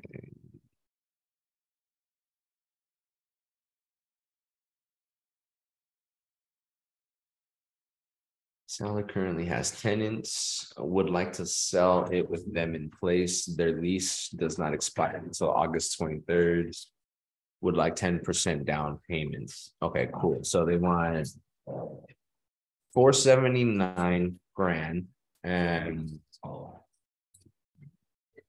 okay, it's currently rented. Would like to sell with tenants in place. Okay, rented. Want to sell to sell with tenants in place. Ace, settle down, boy. Uh, like to sell them in place. Lease doesn't expire till, okay, so a whole year basically. Lease expires. Uh, eight twenty-three. Okay, babe, thank you. Um, ten percent down. Okay, cool. Let's get ready to rock and roll. I love it. I wish I had more time all day. Once I automate everything, I want to be doing like calls with you guys like eight hours a day. How many deals I'd block up in a day if I had eight hours to call? Oh my gosh. I'd be true champion. Cool. That's a pretty nice house.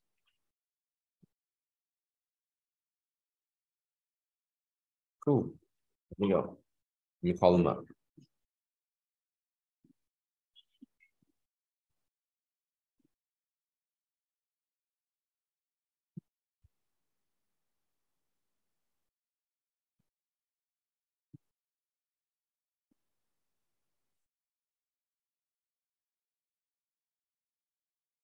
Can you guys hear my dogs eating in the background? They're like fucking pigs or no? You guys can't hear them.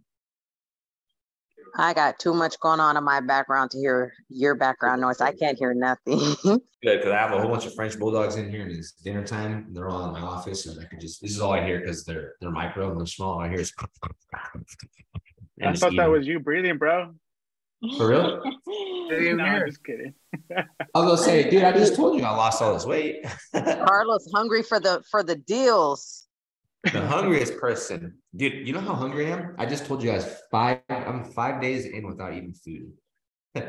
You Five you days in. look you look thinner. I you- like your arms and your shoulders a little bit. I can tell you've lost weight just from when I first started. Yeah, for sure, for sure. Been been on. Yeah, yeah, you get you get what I call vegan neck when your neck gets real small. Yeah, he has that vegan swag. Like you look at him and say he's vegan.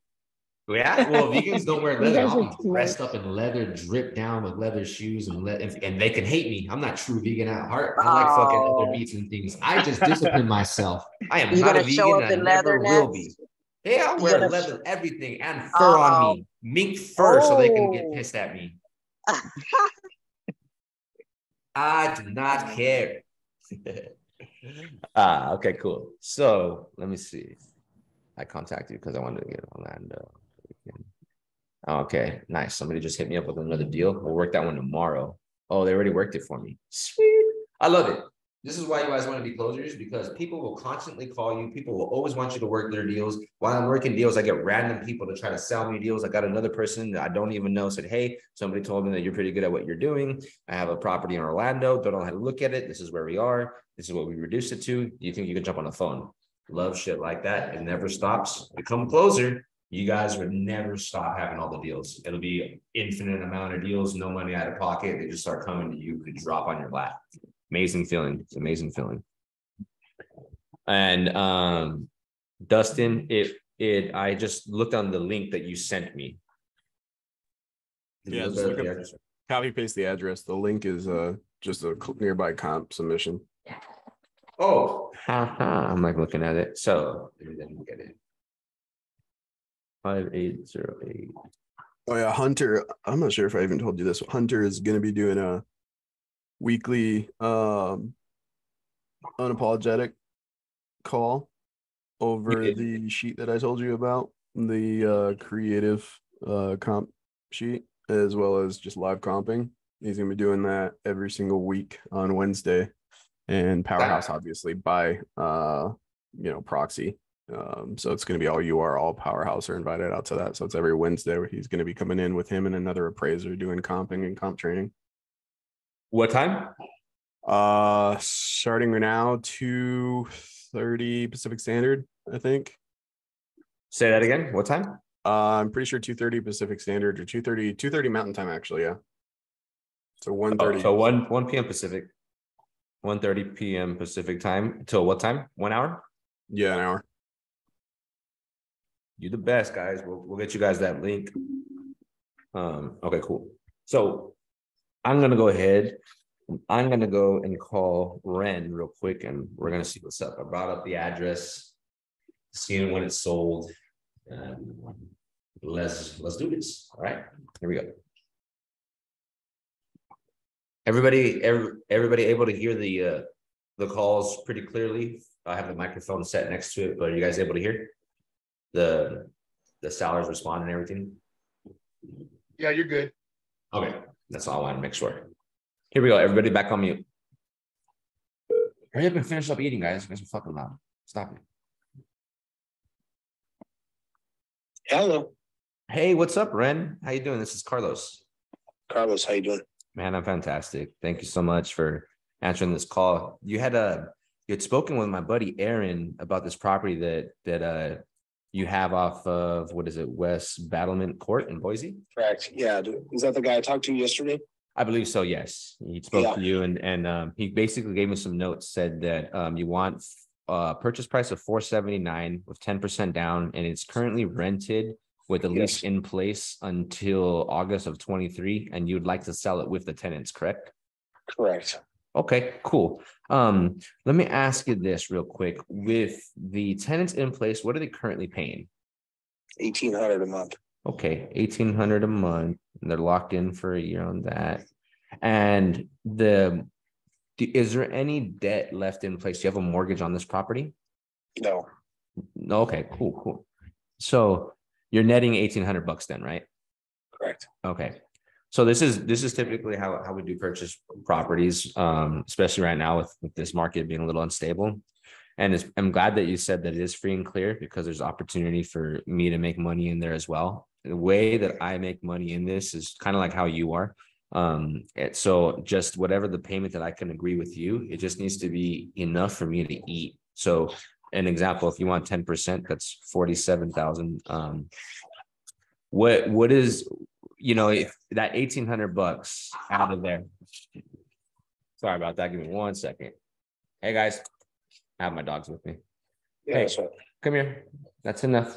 Ace, sorry about that once again. Um, with forty-seven thousand, like roughly forty-eight thousand dollars down. Right. Way I make money in this is I look at a cash on cash return. What am I gonna net every month on this? And I'd like to ask you, you know, um, what do you think would be a fair number, knowing that they're paying eighteen hundred and knowing I need to make money every month? What do you think would be a fair number for me to pay you? Are you, well, are you planning on getting a bank note or you want to carry it through me? Oh, that, that was my understanding that you, um, you are carrying it since I've seen the ten percent down. Okay, yeah, I, it just. Well, I guess, why don't you, let me give you my email address and you send me an email and I'll prepare a little proposal for you. Of what I think it should be. Like, if you're gonna carry it for thirty years at whatever percentage, then I can prepare up a payment and you can take over the tenants and we can drum it up and go from there. Yeah, so I buy, actually, I buy a lot of properties right now like this. What happened is a lot of homeowners want market price and some people are not ready to take a discount. And so the way I've been able to do it is buying it this way. It's not that I can't buy it cash using my own banks. It's just that when I go buy market price, then get hit with that high interest, that's what's gonna hurt my monthly payment and that will kill a deal. So I found it a lot easier um to be able to just to to work that out with the homeowner and them finance me. Yeah, I don't, I'm not interested in charging the market interest right now because it's, it's inflated, so. The, um. But if you're gonna carry it through me, there will be, I mean, it's, there's gonna be interest charges, so. Absolutely, man. I want this to be a true investment for you. I'm, I'm not here to hassle you or, or lowball you. I mean, I used to do it all the time with cash, but as long as the AM is cool. So like, let's say, here's an example. There's a home that was free and clear in Florida. I'm buying this one right now. Purchase price is four hundred and twenty. It's market, it's market ready. Um, no tenants in it. Homeowner is same thing. You want a ten percent down, free and clear. And I said, oh, what's the market rent? Twenty-four. And I said, so, um, we, he said, can you run the numbers on a thirty-year AM at four percent? And, Yeah. because he first said six, and I told him, I mean, I can get six. I- you know, What's the interest rate today? It's just high. it, it came down just a little bit. So I can probably get like a six, six and a half. And so I'm not opposed to not paying you uh, like. interest up. Six. So, so here, here's how I look at it. Numbers is six and tell me what that comes out at and then we'll go from there. So here's the thing, if I'm able to give you that six percent, right, and then make the price make sense, are you cool with, with a, t- like, if I were to push the term out, even though I might not, let's say. Maybe I put like 40, 50 years on the actual term amount, and then I may be making these payments to you for 10, 15 years. That will actually allow me to make a better payment when I do it that way, and that's exactly what I did in the Florida one, where he wanted. So you want a forty year amortization is what you want. I just did one at fifty-five for a ten-year term. I did a, a, I'm actually paying this for ten years on a, and I balloon them out in ten years. But to make me enough money to make sense with that money down in interest, I need that fifty-five years, so then my payment was low enough, which he Okay, still you- your, getting your, interest. your friend took my email yesterday, okay? Okay. So send me your proposal and then we'll go from there, but I'm, I'm game, so. Cool, man. I'm I'm definitely game with you, man. So I mean, is that what you prefer to do, or would you rather just hash this out on the phone? Just send me a proposal. We're good. I just want to see what the numbers come out to be, so that um, if you know I take a ten percent down, then I can uh, you know, it, we'll see where it pans out, and then you want to balloon it in ten, right? Yeah, what that also depends on like if you want to make more interest over time. I like to go the longest, obviously, but yeah, Yeah. right now I'm not doing anything. it in ten. I'm good with that. So Okay. And and and and is um ten percent is that the the like the minimum or is there a little bit Yeah. do you need that much money? That's the that's the minimum. Is there a certain reason you need you need to buy something right now or is it more like a concern or I no, that's I'm I would probably just stash that. So that's the minimum though. That's where I'm at with it. I'm not gonna do five percent. Cool. So I did, I had that thing sold with a lease option, non-refundable lease option, and those people walked, and then I got those tenants in there. And so I just want to know that you're serious. So. Yeah, I- I we, don't so we do, we do have this thing too, is, um, we have like a performance mortgage, uh, that we've drafted. And we, we had our legal team help us out. And basically what it is, is. Cause we've had homeowners ask us for twenty and I said, is there a reason you need that much? And they're like, well, we want your skin in the game. We're gonna do ten. It's, it- that's non-negotiable. Okay, that's what I needed to know. I just needed to know if it was negotiable or not. Yeah. Let me do that. I have, I'll have your email and I'll go with the numbers given. I'll underwrite it, see what, what I can do on, on the AM. And I'll, I'll send it over to you at, at, um, something that makes sense for me as well. Rent at atdlawnservice.com. Say that again. Rent at atdlawnservice.com. Thank you so much. Okay. Okay, have a good day. You too. Bye. I guy did not want to be on the phone. Businessman. Yeah, or he's just, you know, he hears another businessman on the phone. Who knows? One or the That's other. what it felt like. You That's felt, what you he felt was it, right? That's what it felt like. I'm just trying to get him, like, he had the time, but he was trying to get me off. And I was trying to figure out a, a way to keep him on the phone without being aggressive, but I couldn't do it. That's where I was at. So I'm still open to it. But here's the thing: he wants six percent. I'm gonna make that negotiable, or I'm gonna drop the purchase price. So I'm gonna hit him like how he wants me to hit him with some stuff, but I'm gonna also sweeten it for me. I'm gonna make the term, even if even if the six percent's on there, I'm gonna make the term like long enough over 10 years when my payment is healthy. You get me? Because 10%, 50 grand, right? If he's making nine, if he's making 1800 right now, and I were to say, let me give you 900 or maybe a little bit less, right? And let me make the other 900. Well, you you annualize that 900. Where's my calculator? You times that by 12.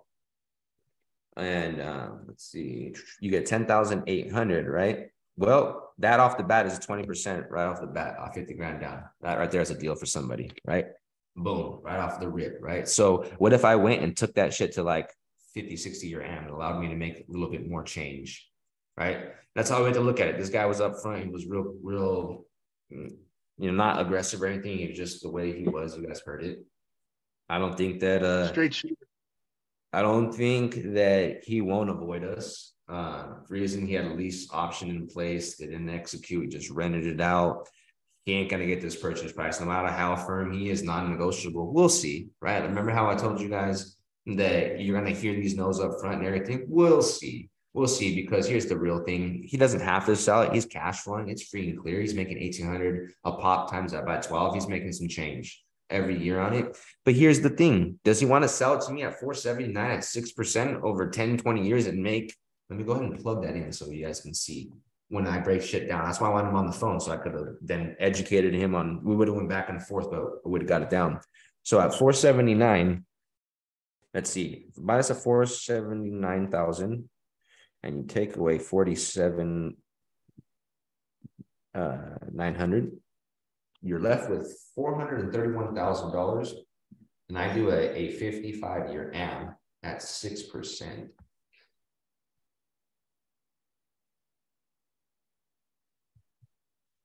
That interest rate is too high. It has to be four percent. Let's see.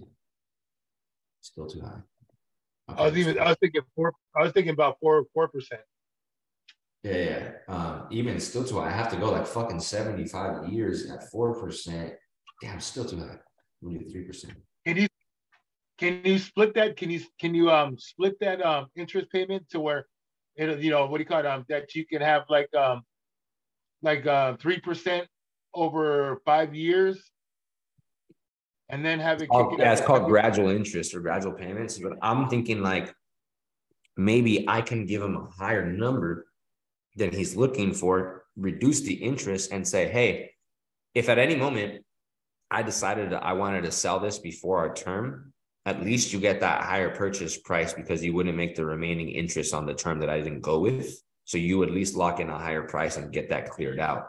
Right. So there are ways to then go back and forth on this. That's why I like on the phone because of emails and take time back and forth, all these types of things. For this to make sense at the current, like current rate, if you want six percent, literally, I gotta go. Let's see, what is hundred years? Hundred years. Fuck, it still, that still doesn't make sense. It's, it's it, but pay, at hundred years, at four hundred thirty-one thousand, at a hundred-year term at six percent, the payment's twenty-one sixty. It's four hundred dollars over. So actually, me bringing this up to him, he's gonna actually read this and see I can't buy it. So he's gonna work with me on that interest rate, no matter what. Well, he did say on the call, he's like, I'm not looking to charge in, like market interest because it's inflated. Yeah, but the six percent doesn't let me cash flow at all. Even at a hundred, dude, I, I put in the the ten percent down.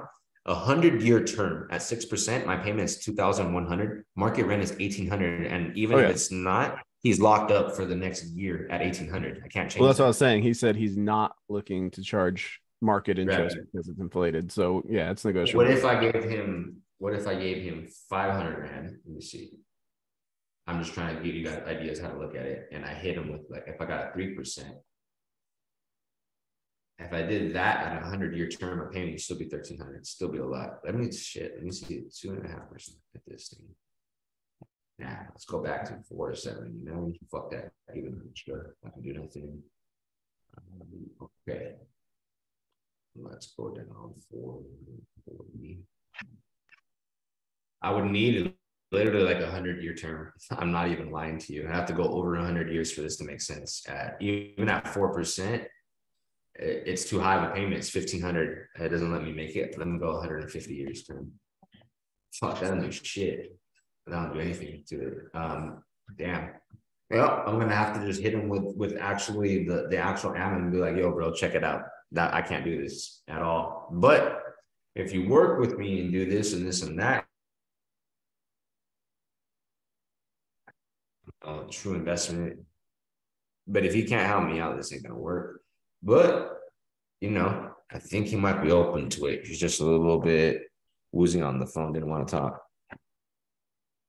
So let's get to that a little bit later, maybe tomorrow morning. Uh Dustin, I couldn't type up a like a like an offer to him and send it over uh, what I can cash flow, and I'll send them over like I'll screenshot like the AM schedule and show them like here, here's why. Here's why I need it like this because you're not letting me cash flow. Oh yeah. Yeah, yeah. Cool. So we'll do that one. Got his email. Five eleven.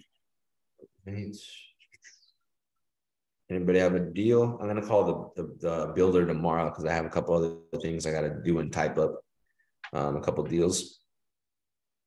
So anybody else in here has has um, a lead that you want me to follow up on? Aaron, that was your deal that we were working right now. Yeah, I heard. That's how he was on the, on the phone. I was with him. He was just like very hesitant to get off. He was very difficult to talk with. Yeah, yeah. Um, cool. Let's see. Anybody? Are you- Uh, are, you calling tomorrow again? Because I have another um, portfolio, multifamily, three multifamily properties. Um, it's also through an agent. Uh, I mean, the seller, she talked to the seller, and the seller is open to to terms. So I don't know if we can we can call tomorrow. yeah, hundred Yeah. percent. Three to six is the best time. If not, let me know, and um, I could try to to squeeze it in beforehand. But typically, I'm I'm pretty slammed right now. A lot of things are going on, a lot of deals. Yeah. So three to six is always the best time to catch me for live calls. I like them. It's just they become easier. They're fun. Like in like in the Zoom, during the Zoom. I like doing everything on Zoom because I, I like to record things now so I can send them to other people or put them on my mentorship and whatnot. So yeah, Zooms. Okay. Even if you know you, you and I are on a three way, it's cool. I'll just do a one on Zoom with myself, record the whole thing, and so I can still have it. yeah. Okay, perfect. I will I will ask them at what time. Yeah, and then I definitely want to work that deal tomorrow. I'm going to underwrite that with Stan, so then Annie, we can work on that quadplex. I was already looking at it and looking at the money that I might need down and all this stuff. So I mean, I'm actually interested in it because I can make I can we can make it make sense uh, as long as he's open to Okay. it. Okay, Cool. perfect. Thanks, Carlos. No, thank you, Annie. Anybody in here have any questions, any deals you'd like me to to call for you? Anything I can help you out with? I got a FSBO you can call if you want. Send it over. All right. Cool. Um, yeah, I talked to him last night and um, I found it on Zillow. It's in Idaho. It's uh you want the address? I knew you were a hoe. You know I'm the hoe. You are the hoe, bro. Be Just like hoe. Dust. As he stamped it, he lives there. All right, Uh, cool. Text it over to me, yeah. Okay. I'll text it. But yeah, I talked to him last night. Um, he uh, is an investor and has other properties too. They're just unloading this one, and they have tenants in there that were due are due to be out the the thirteenth of December. Um, he said it'll rent for nineteen hundred a month. It's being rented right now for seventeen hundred, so it's under what it what it even should could be. He said, um, but he said he The tenants leave when? The 13th? yes thirteenth. Okay. He's he's actually pla- placing them into another one of his one of his properties.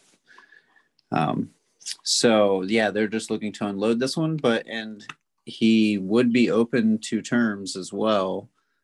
Um, but I think he needs a little bit of a larger down payment.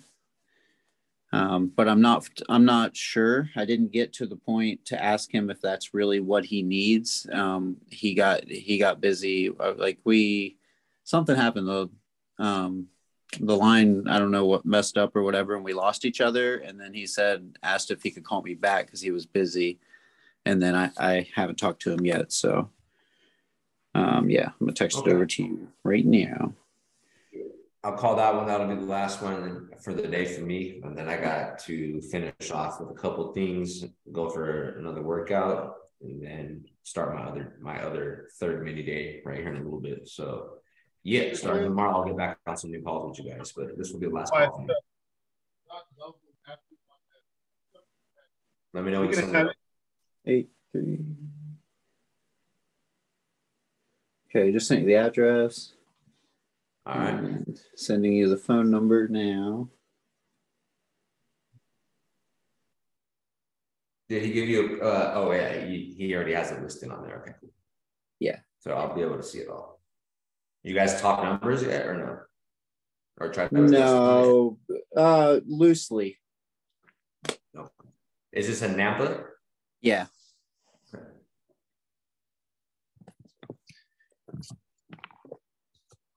Okay. Pretty nice house.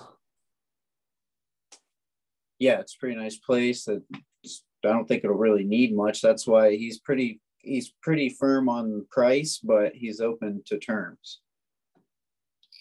Cool. Cool, cool, cool, cool. All right.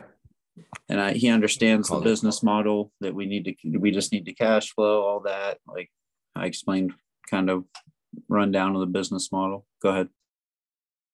Okay. Cool. Three sixty-nine thousand. Did he say an amount of money down or he's just open to the call? He said 100k, All right. Hundred K. but and then I was just getting to the point where I was going to ask him if he needed 100k or if he was just saying 100k because it sounded safe. Yeah, hundred and two days on Zillow, three plus months. Ain't gonna get this price if he doesn't hurry it up. So let's go ahead and, and do this. What's his uh uh what's his name? I want to think he, I want, I think he said Joe, but I wouldn't murder it. I would just not go with the name. Uh, Yeah. Fuck it. Yeah, I'm just gonna tell him I don't know your name, bro. Does he know I, I, your I name? spoke I spoke to him last night though. Does he know your name? Uh, he should. I don't know. Depends depends if he smokes as much weed as me. Maybe, maybe he doesn't. Who knows? I don't know who has worse weed, you or them. So, I mean, as far as like Idaho or, or or Ohio, I mean, I'm in California at the most Idaho, prime shit out here. Idaho's Not that I'm. I'm not even smoking right now either. I'm on my disciplinary stage. Yeah. Um. So let me call this motherfucker up. Everybody on mute. Let's roll.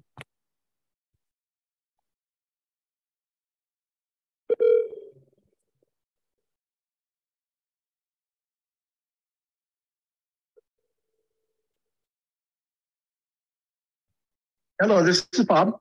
Hey, what's up, Bob? This is Carlos. How you doing, man? Carlos? Yeah, you had uh, you actually we, we don't know each other. You had spoken to my my associate Josh last night about a property that you have for sale off of Sixth Ave in Nampa. Oh, yes. Did you have a couple Yes. minutes? I I just wanted to talk to you really quick. Yep, if we can make it really quick, because I'm on my way out. Okay, yeah, I don't want to take up too much time real quick. I just wanted to go over a couple things. Um, he did let me know that that you know your purchase price, you're open to selling it um on terms on seller finance. He he let me know that you have tenants in place that leave on the thirteenth. They're currently paying seventeen and market is nineteen. Is that right? I think the market might be even higher, but anyways, yeah, I think the market's probably closer to over two grand. Okay, and I'll and I'll take a look at that. I'll, I'll do my Okay. due diligence as well. So this is where I'm at. Um, we we do purchase all types of ways. We've been able to purchase at higher prices, especially now with this this um, slower economy and the market going a little bit haywire.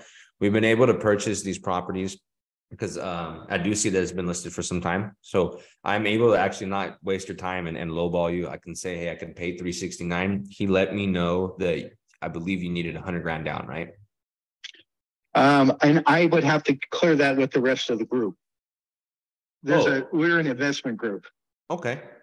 So- So way it works is, and I'm sure he broke it down. All I need is a good cash on cash return, right? So if I'm gonna put a hundred grand down or something, what is my return gonna be on that? And so that's how I need to look at this thing.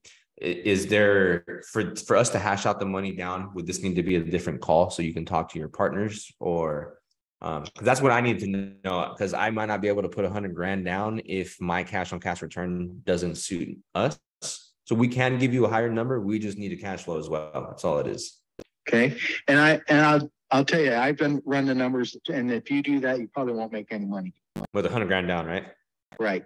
Yeah. Is there a certain amount that you guys need down? Well, um, let, let me, before we waste a whole bunch of time with yours, the, we, the only reason it's been on there so long is because we're, we're finishing another unit that took us three months to get the people out. Oh, man. And the people that are in that unit are gonna be moving over, okay? Mhm. And the other, and the house on six, I've got a list as long as two arms of people that are waiting to buy it. I bet, man. I bet. Cause I, every time I call Yeah. sellers, they're always like, I got so many people in line. Yeah. Yeah, because it's the lowest, it's probably one, probably the lowest house per square foot priced in Nampa, still. Yeah, yeah. You guys are, you guys are, you guys came up a lot in the last few years in market. I know a lot of Californians, Yep. a lot of people moved over over there. Mhm. Values of homes Yes. came up a lot for sure. Yes, they did.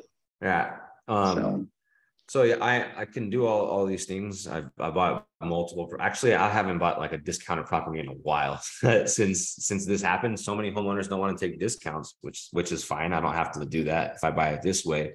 So, um, I just needed to see, you know, maybe you can talk to, your- to your, your team and see, you know, what amount down makes sense. And then, and then we can maybe jump on another phone and hash out like the payments to you and what I can make.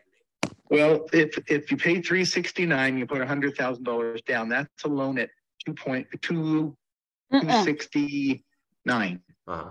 At two sixty-nine at five and a half percent, you're gonna be right at thirteen, fourteen hundred dollars a month just for interest alone. By the time you pay the taxes and insurance, you're gonna maybe make a hundred bucks. So then how do we, how do we hash those out and work it out so I can pay you the higher price and I can still make money? Um, you can pay the whole amount. Right? It, I can, I can buy cash. It's just because the high interest rate, I would have to get a discount. Otherwise I wouldn't be able to actually cash flow at like Okay. six or eight percent. You get me? Mhm. Um, so either five and a half percent and, and, you know, a lot less down and maybe a lower number could make sense. Or maybe we can do three sixty-nine, still give you interest on this and, and make cash flow. How I look at it is I just need cash flow in this one. If I'm not gonna be making any money on the purchase, like on the price, I need some cash flow. And so I can even extend the term even with the interest to see if it works. Like, hey, if I'm financing it from you for 10 years, but I need to put 40 or 50 years on the AM just to get a payment that makes sense to us, then that Mhm. really doesn't really bother the deal because it just makes me ensure that I'm making money in it. So I wouldn't need to hash them out like how you said. If you if I just pay interest at five and a half percent, it's already fourteen hundred bucks. And not that I can't do that, it's just it won't make me any money if I'm putting a large amount of money down.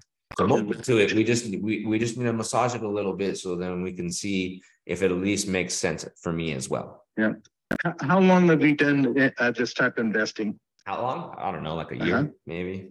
A year? Yeah. So Okay. I come from. I can, I can, I can guarantee you this one won't work for you. Why is that? Uh, because by the time you put the money down, Mm-hmm. by the time you make the, get the, get it rented out, Mm-hmm. It's going, not going to make you a cash flow. You're going to be, this is going to be a negative cash flow. Right, right. So how do I make a cash flow with you though? Because the year doesn't matter. right? I, I mean, I've been, I've been a business owner and, and director for lots of big companies. I own a lot of homes now, so it's not hard to have a good team. I just wanted to see. You won't be able to. Why not? Because unless you want to make more, pay more payment than it's, than it's worth. And that, more payment than what you're going to be collecting each month, it won't work. Got you. So, so yeah, you know what? If it doesn't fit me, then obviously a homeowner would be the one to work with so they can pay those higher interest and, and payments. Let's say that you can't get that number though, out of all those people you have lined up. Um, I might not be able to buy it right now how we're talking, but let's say that you, you guys are not able to get the number you're looking for. Think of me because this phone call can't really go much further if, if I can't cash flow with you. But just know that if we do buy it right at, at a higher purchase price and, and do give you interest, that those prices probably, you know, won't be seen over the next three or six months since we are in that recession going down. So I know that you'd lock up a higher purchase price with the interest rate. And then at the same time, since it's not an all cash purchase, it's obviously you're not gonna have to pay any gains on the difference of what I give you down. And so we could, you know, we could make it a true investment and beneficial. But like I said, as long as, you know, maybe it doesn't make sense for your other buyers to buy it from me, if it doesn't go that route, I'm gonna always be here. I would just need to rework the numbers with you. Even if it was like, if I paid like maybe interest only payments for a year or two, so I can cash flow correctly and then we then amortize it. Um, so we could always do the gradual payments in there, or we can always do something where lower interest and maybe a little bit more on the purchase price. So then it hashes it out as well. So we can always work them. We work all types of ways. It's just I want to also achieve your team's goals with you. Okay. I can, I can tell you this, I've done this for thirty-five years. Okay? Mhm. I would not get involved with this if you're trying to do what you're trying to do. For two reasons. Okay? You make one step sideways without paying that payment, and these guys will take your house back. Correct. That's And how I will protect you. lose your hundred grand. Yeah, I have a Okay. I have a performance mortgage deed that does the same thing for you. So I'm Yep. very aware of that. Okay, and the thing is, by the time you, if you put a hundred thousand dollars down, Mm-hmm. you're not gonna make anything on your hundred grand. You're gonna pay the interest on the two hundred and sixty thousand dollars left over. Mm-hmm. Even if it was interest only, that's thir- almost thirteen hundred a month. Mm-hmm. Okay, so, so thirteen hundred dollars a month plus the taxes, which are about three hundred a month. Mm-hmm. Yeah, Okay, so good. that, that's sixteen hundred. And then by the time you pay your insurance, that's another hundred and fifty. And you're not gonna make any money. Yeah, well, of course, with with those numbers, right? I mean, not that Okay. way for sure. I mean, if we Okay. massage the, the interest and everything, then yeah. But other than that, the way that I see you looking at this deal is just mainly for your benefit. So it obviously won't help me, right? Um, and that's because I, I understand you're looking at it as an investor with a team. So I, I totally get it because I'm an investor. Yeah, those numbers don't work with me, obviously, since since I'm the investor trying to make money. Because we, we have, we have, uh, we have, uh, programs that are real estate programs that tell you how to make money with the real estate. Right. And this one would not make real at what you're trying to do with us. Right, right. If we did it the way we were gonna do, with the way we would set it up, you won't make money on this and for ten years. Oh, I know. It doesn't, it doesn't sound interesting at all. I believe me. I was looking at it. It Yeah. doesn't sound interesting at the hundred grand Nope. down. I was waiting to see. Not came to where- Yeah, yeah. Yeah. It won't. And Um, I'm just looking out, I'm looking out for you. No, I appreciate it. And I'm not here to hassle you and be like, yo, give me a lower interest. So it makes sense. I just want you to go do your thing. If you can't get that, maybe I could Okay. be here and still give you a higher price and interest if we could make it work. But if not, I understand Well, we you, can't move forward. you might, you might put my number down and call me back in about sixty days because we're finished. I'm actually at the one house where the tenant's moving right now. And we're gonna have them moving in around the fifteenth of December, which then we'll move our crew back over to that house on Sixth. Okay. I'm going to make sure it's all dolled up, because right now it's got a new roof, new windows, new HVAC. Um, it's getting, the, the hardwood floors are getting refinished. It's all been repainted inside and out. And anyways, the house is premium. Sounds like it, man. And Sounds great. It is. And so anyways, to, once we get back over there and the people come that are listed already for, to do walkthroughs, it shouldn't, it won't last. No, I, I got you. But- you you know, if you selling it on a wrap, like you're gonna do great. If you sell it on a wrap and you sell it to a to a homestead buyer for sure. That's what I do. It's one of my main Mm-hmm. strategies is doing exactly how you're doing it and making the high interest and everything. Um, but me as an investor on the other side, I can't I can't accept that. Home buyer though, I be the- understand the right person I- for sure. Right, I understand that. So anyways, if you want to call me back in about sixty days and check and see what happened to it, you're welcome to do it. Yeah, yeah. And let me ask you, Bob, is there anything that you and your team have that does work my um with my business models? Uh, not right now. Okay, and let me ask you only, one more question. the only one we're putting up for sale right now. Because we have one of our investors that's retiring. And he's gonna, he's gonna liquidate, we're liquidating one property to pay him out. Okay, that I got you. I Okay. definitely got you. He's Yep. out. He's exiting. Well, let me ask you: Are you and your team always looking to acquire more? Um, we're actually getting old enough where nobody wants to buy anymore right now. We've got commercial properties and if we do anything, we're con- convert our residential into commercial.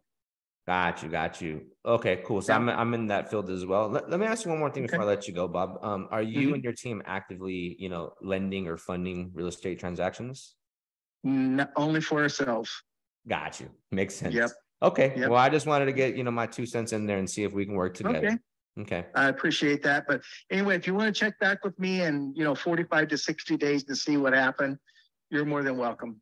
All right. You have a good one. Okay. Enjoy yourself. Okay, buddy. Thank you. Happy holidays. Okay, Bye. bye.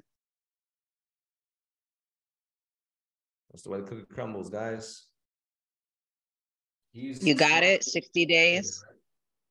What's up? 45. He threw the 45 in there. Oh, he said 60 days like a thousand times. he dropped it to 45, I think, right? Yeah, at the very end. Yeah. I didn't even hear him, you know, honestly, I just.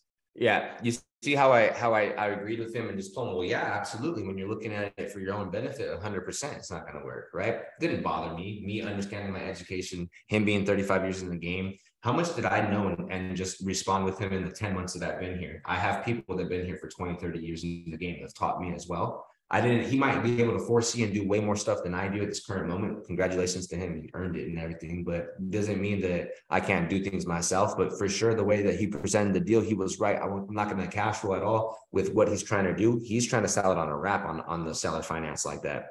Um, if he's going to make that happen, because it won't cash flow that way. Any questions on that? Josh, 60 day follow up, okay, or 40 day or whatever, 30, just get fucking January, we'll call him. Um, follow that guy, his name's Bob. I do have a question. I, I didn't What's up? understand if he, I didn't understand if he really understood that you could bring down that payment. Do you think he got he got that, or was it just me that he just No, didn't seem like he, no, he knew that. He's just not trying to sell to an investor. Yeah, hundred percent. He Oh, knew what's up. Uh, he- That's why he was like, "You, you can't buy this because you won't make any money, right?" And that's why I said, Yeah, because you're only looking at it as your benefit, trying to max it out. That's why, because you're not seeing me as the investor trying to buy it. And so he said, You're not going to make money. And I said, Why? He goes, Because you're not. Well, I mean, if you massage the numbers, right? But he doesn't want to. So he understood what I was trying to do, but I'm not achieving any of his goals at all. The other people lined up might be home buyers. That's going to be easy sale at five and a half percent when that shit's renovated. Five and a half percent is lower than market rates right now. That would a home buyer would buy that on a wrap for sure.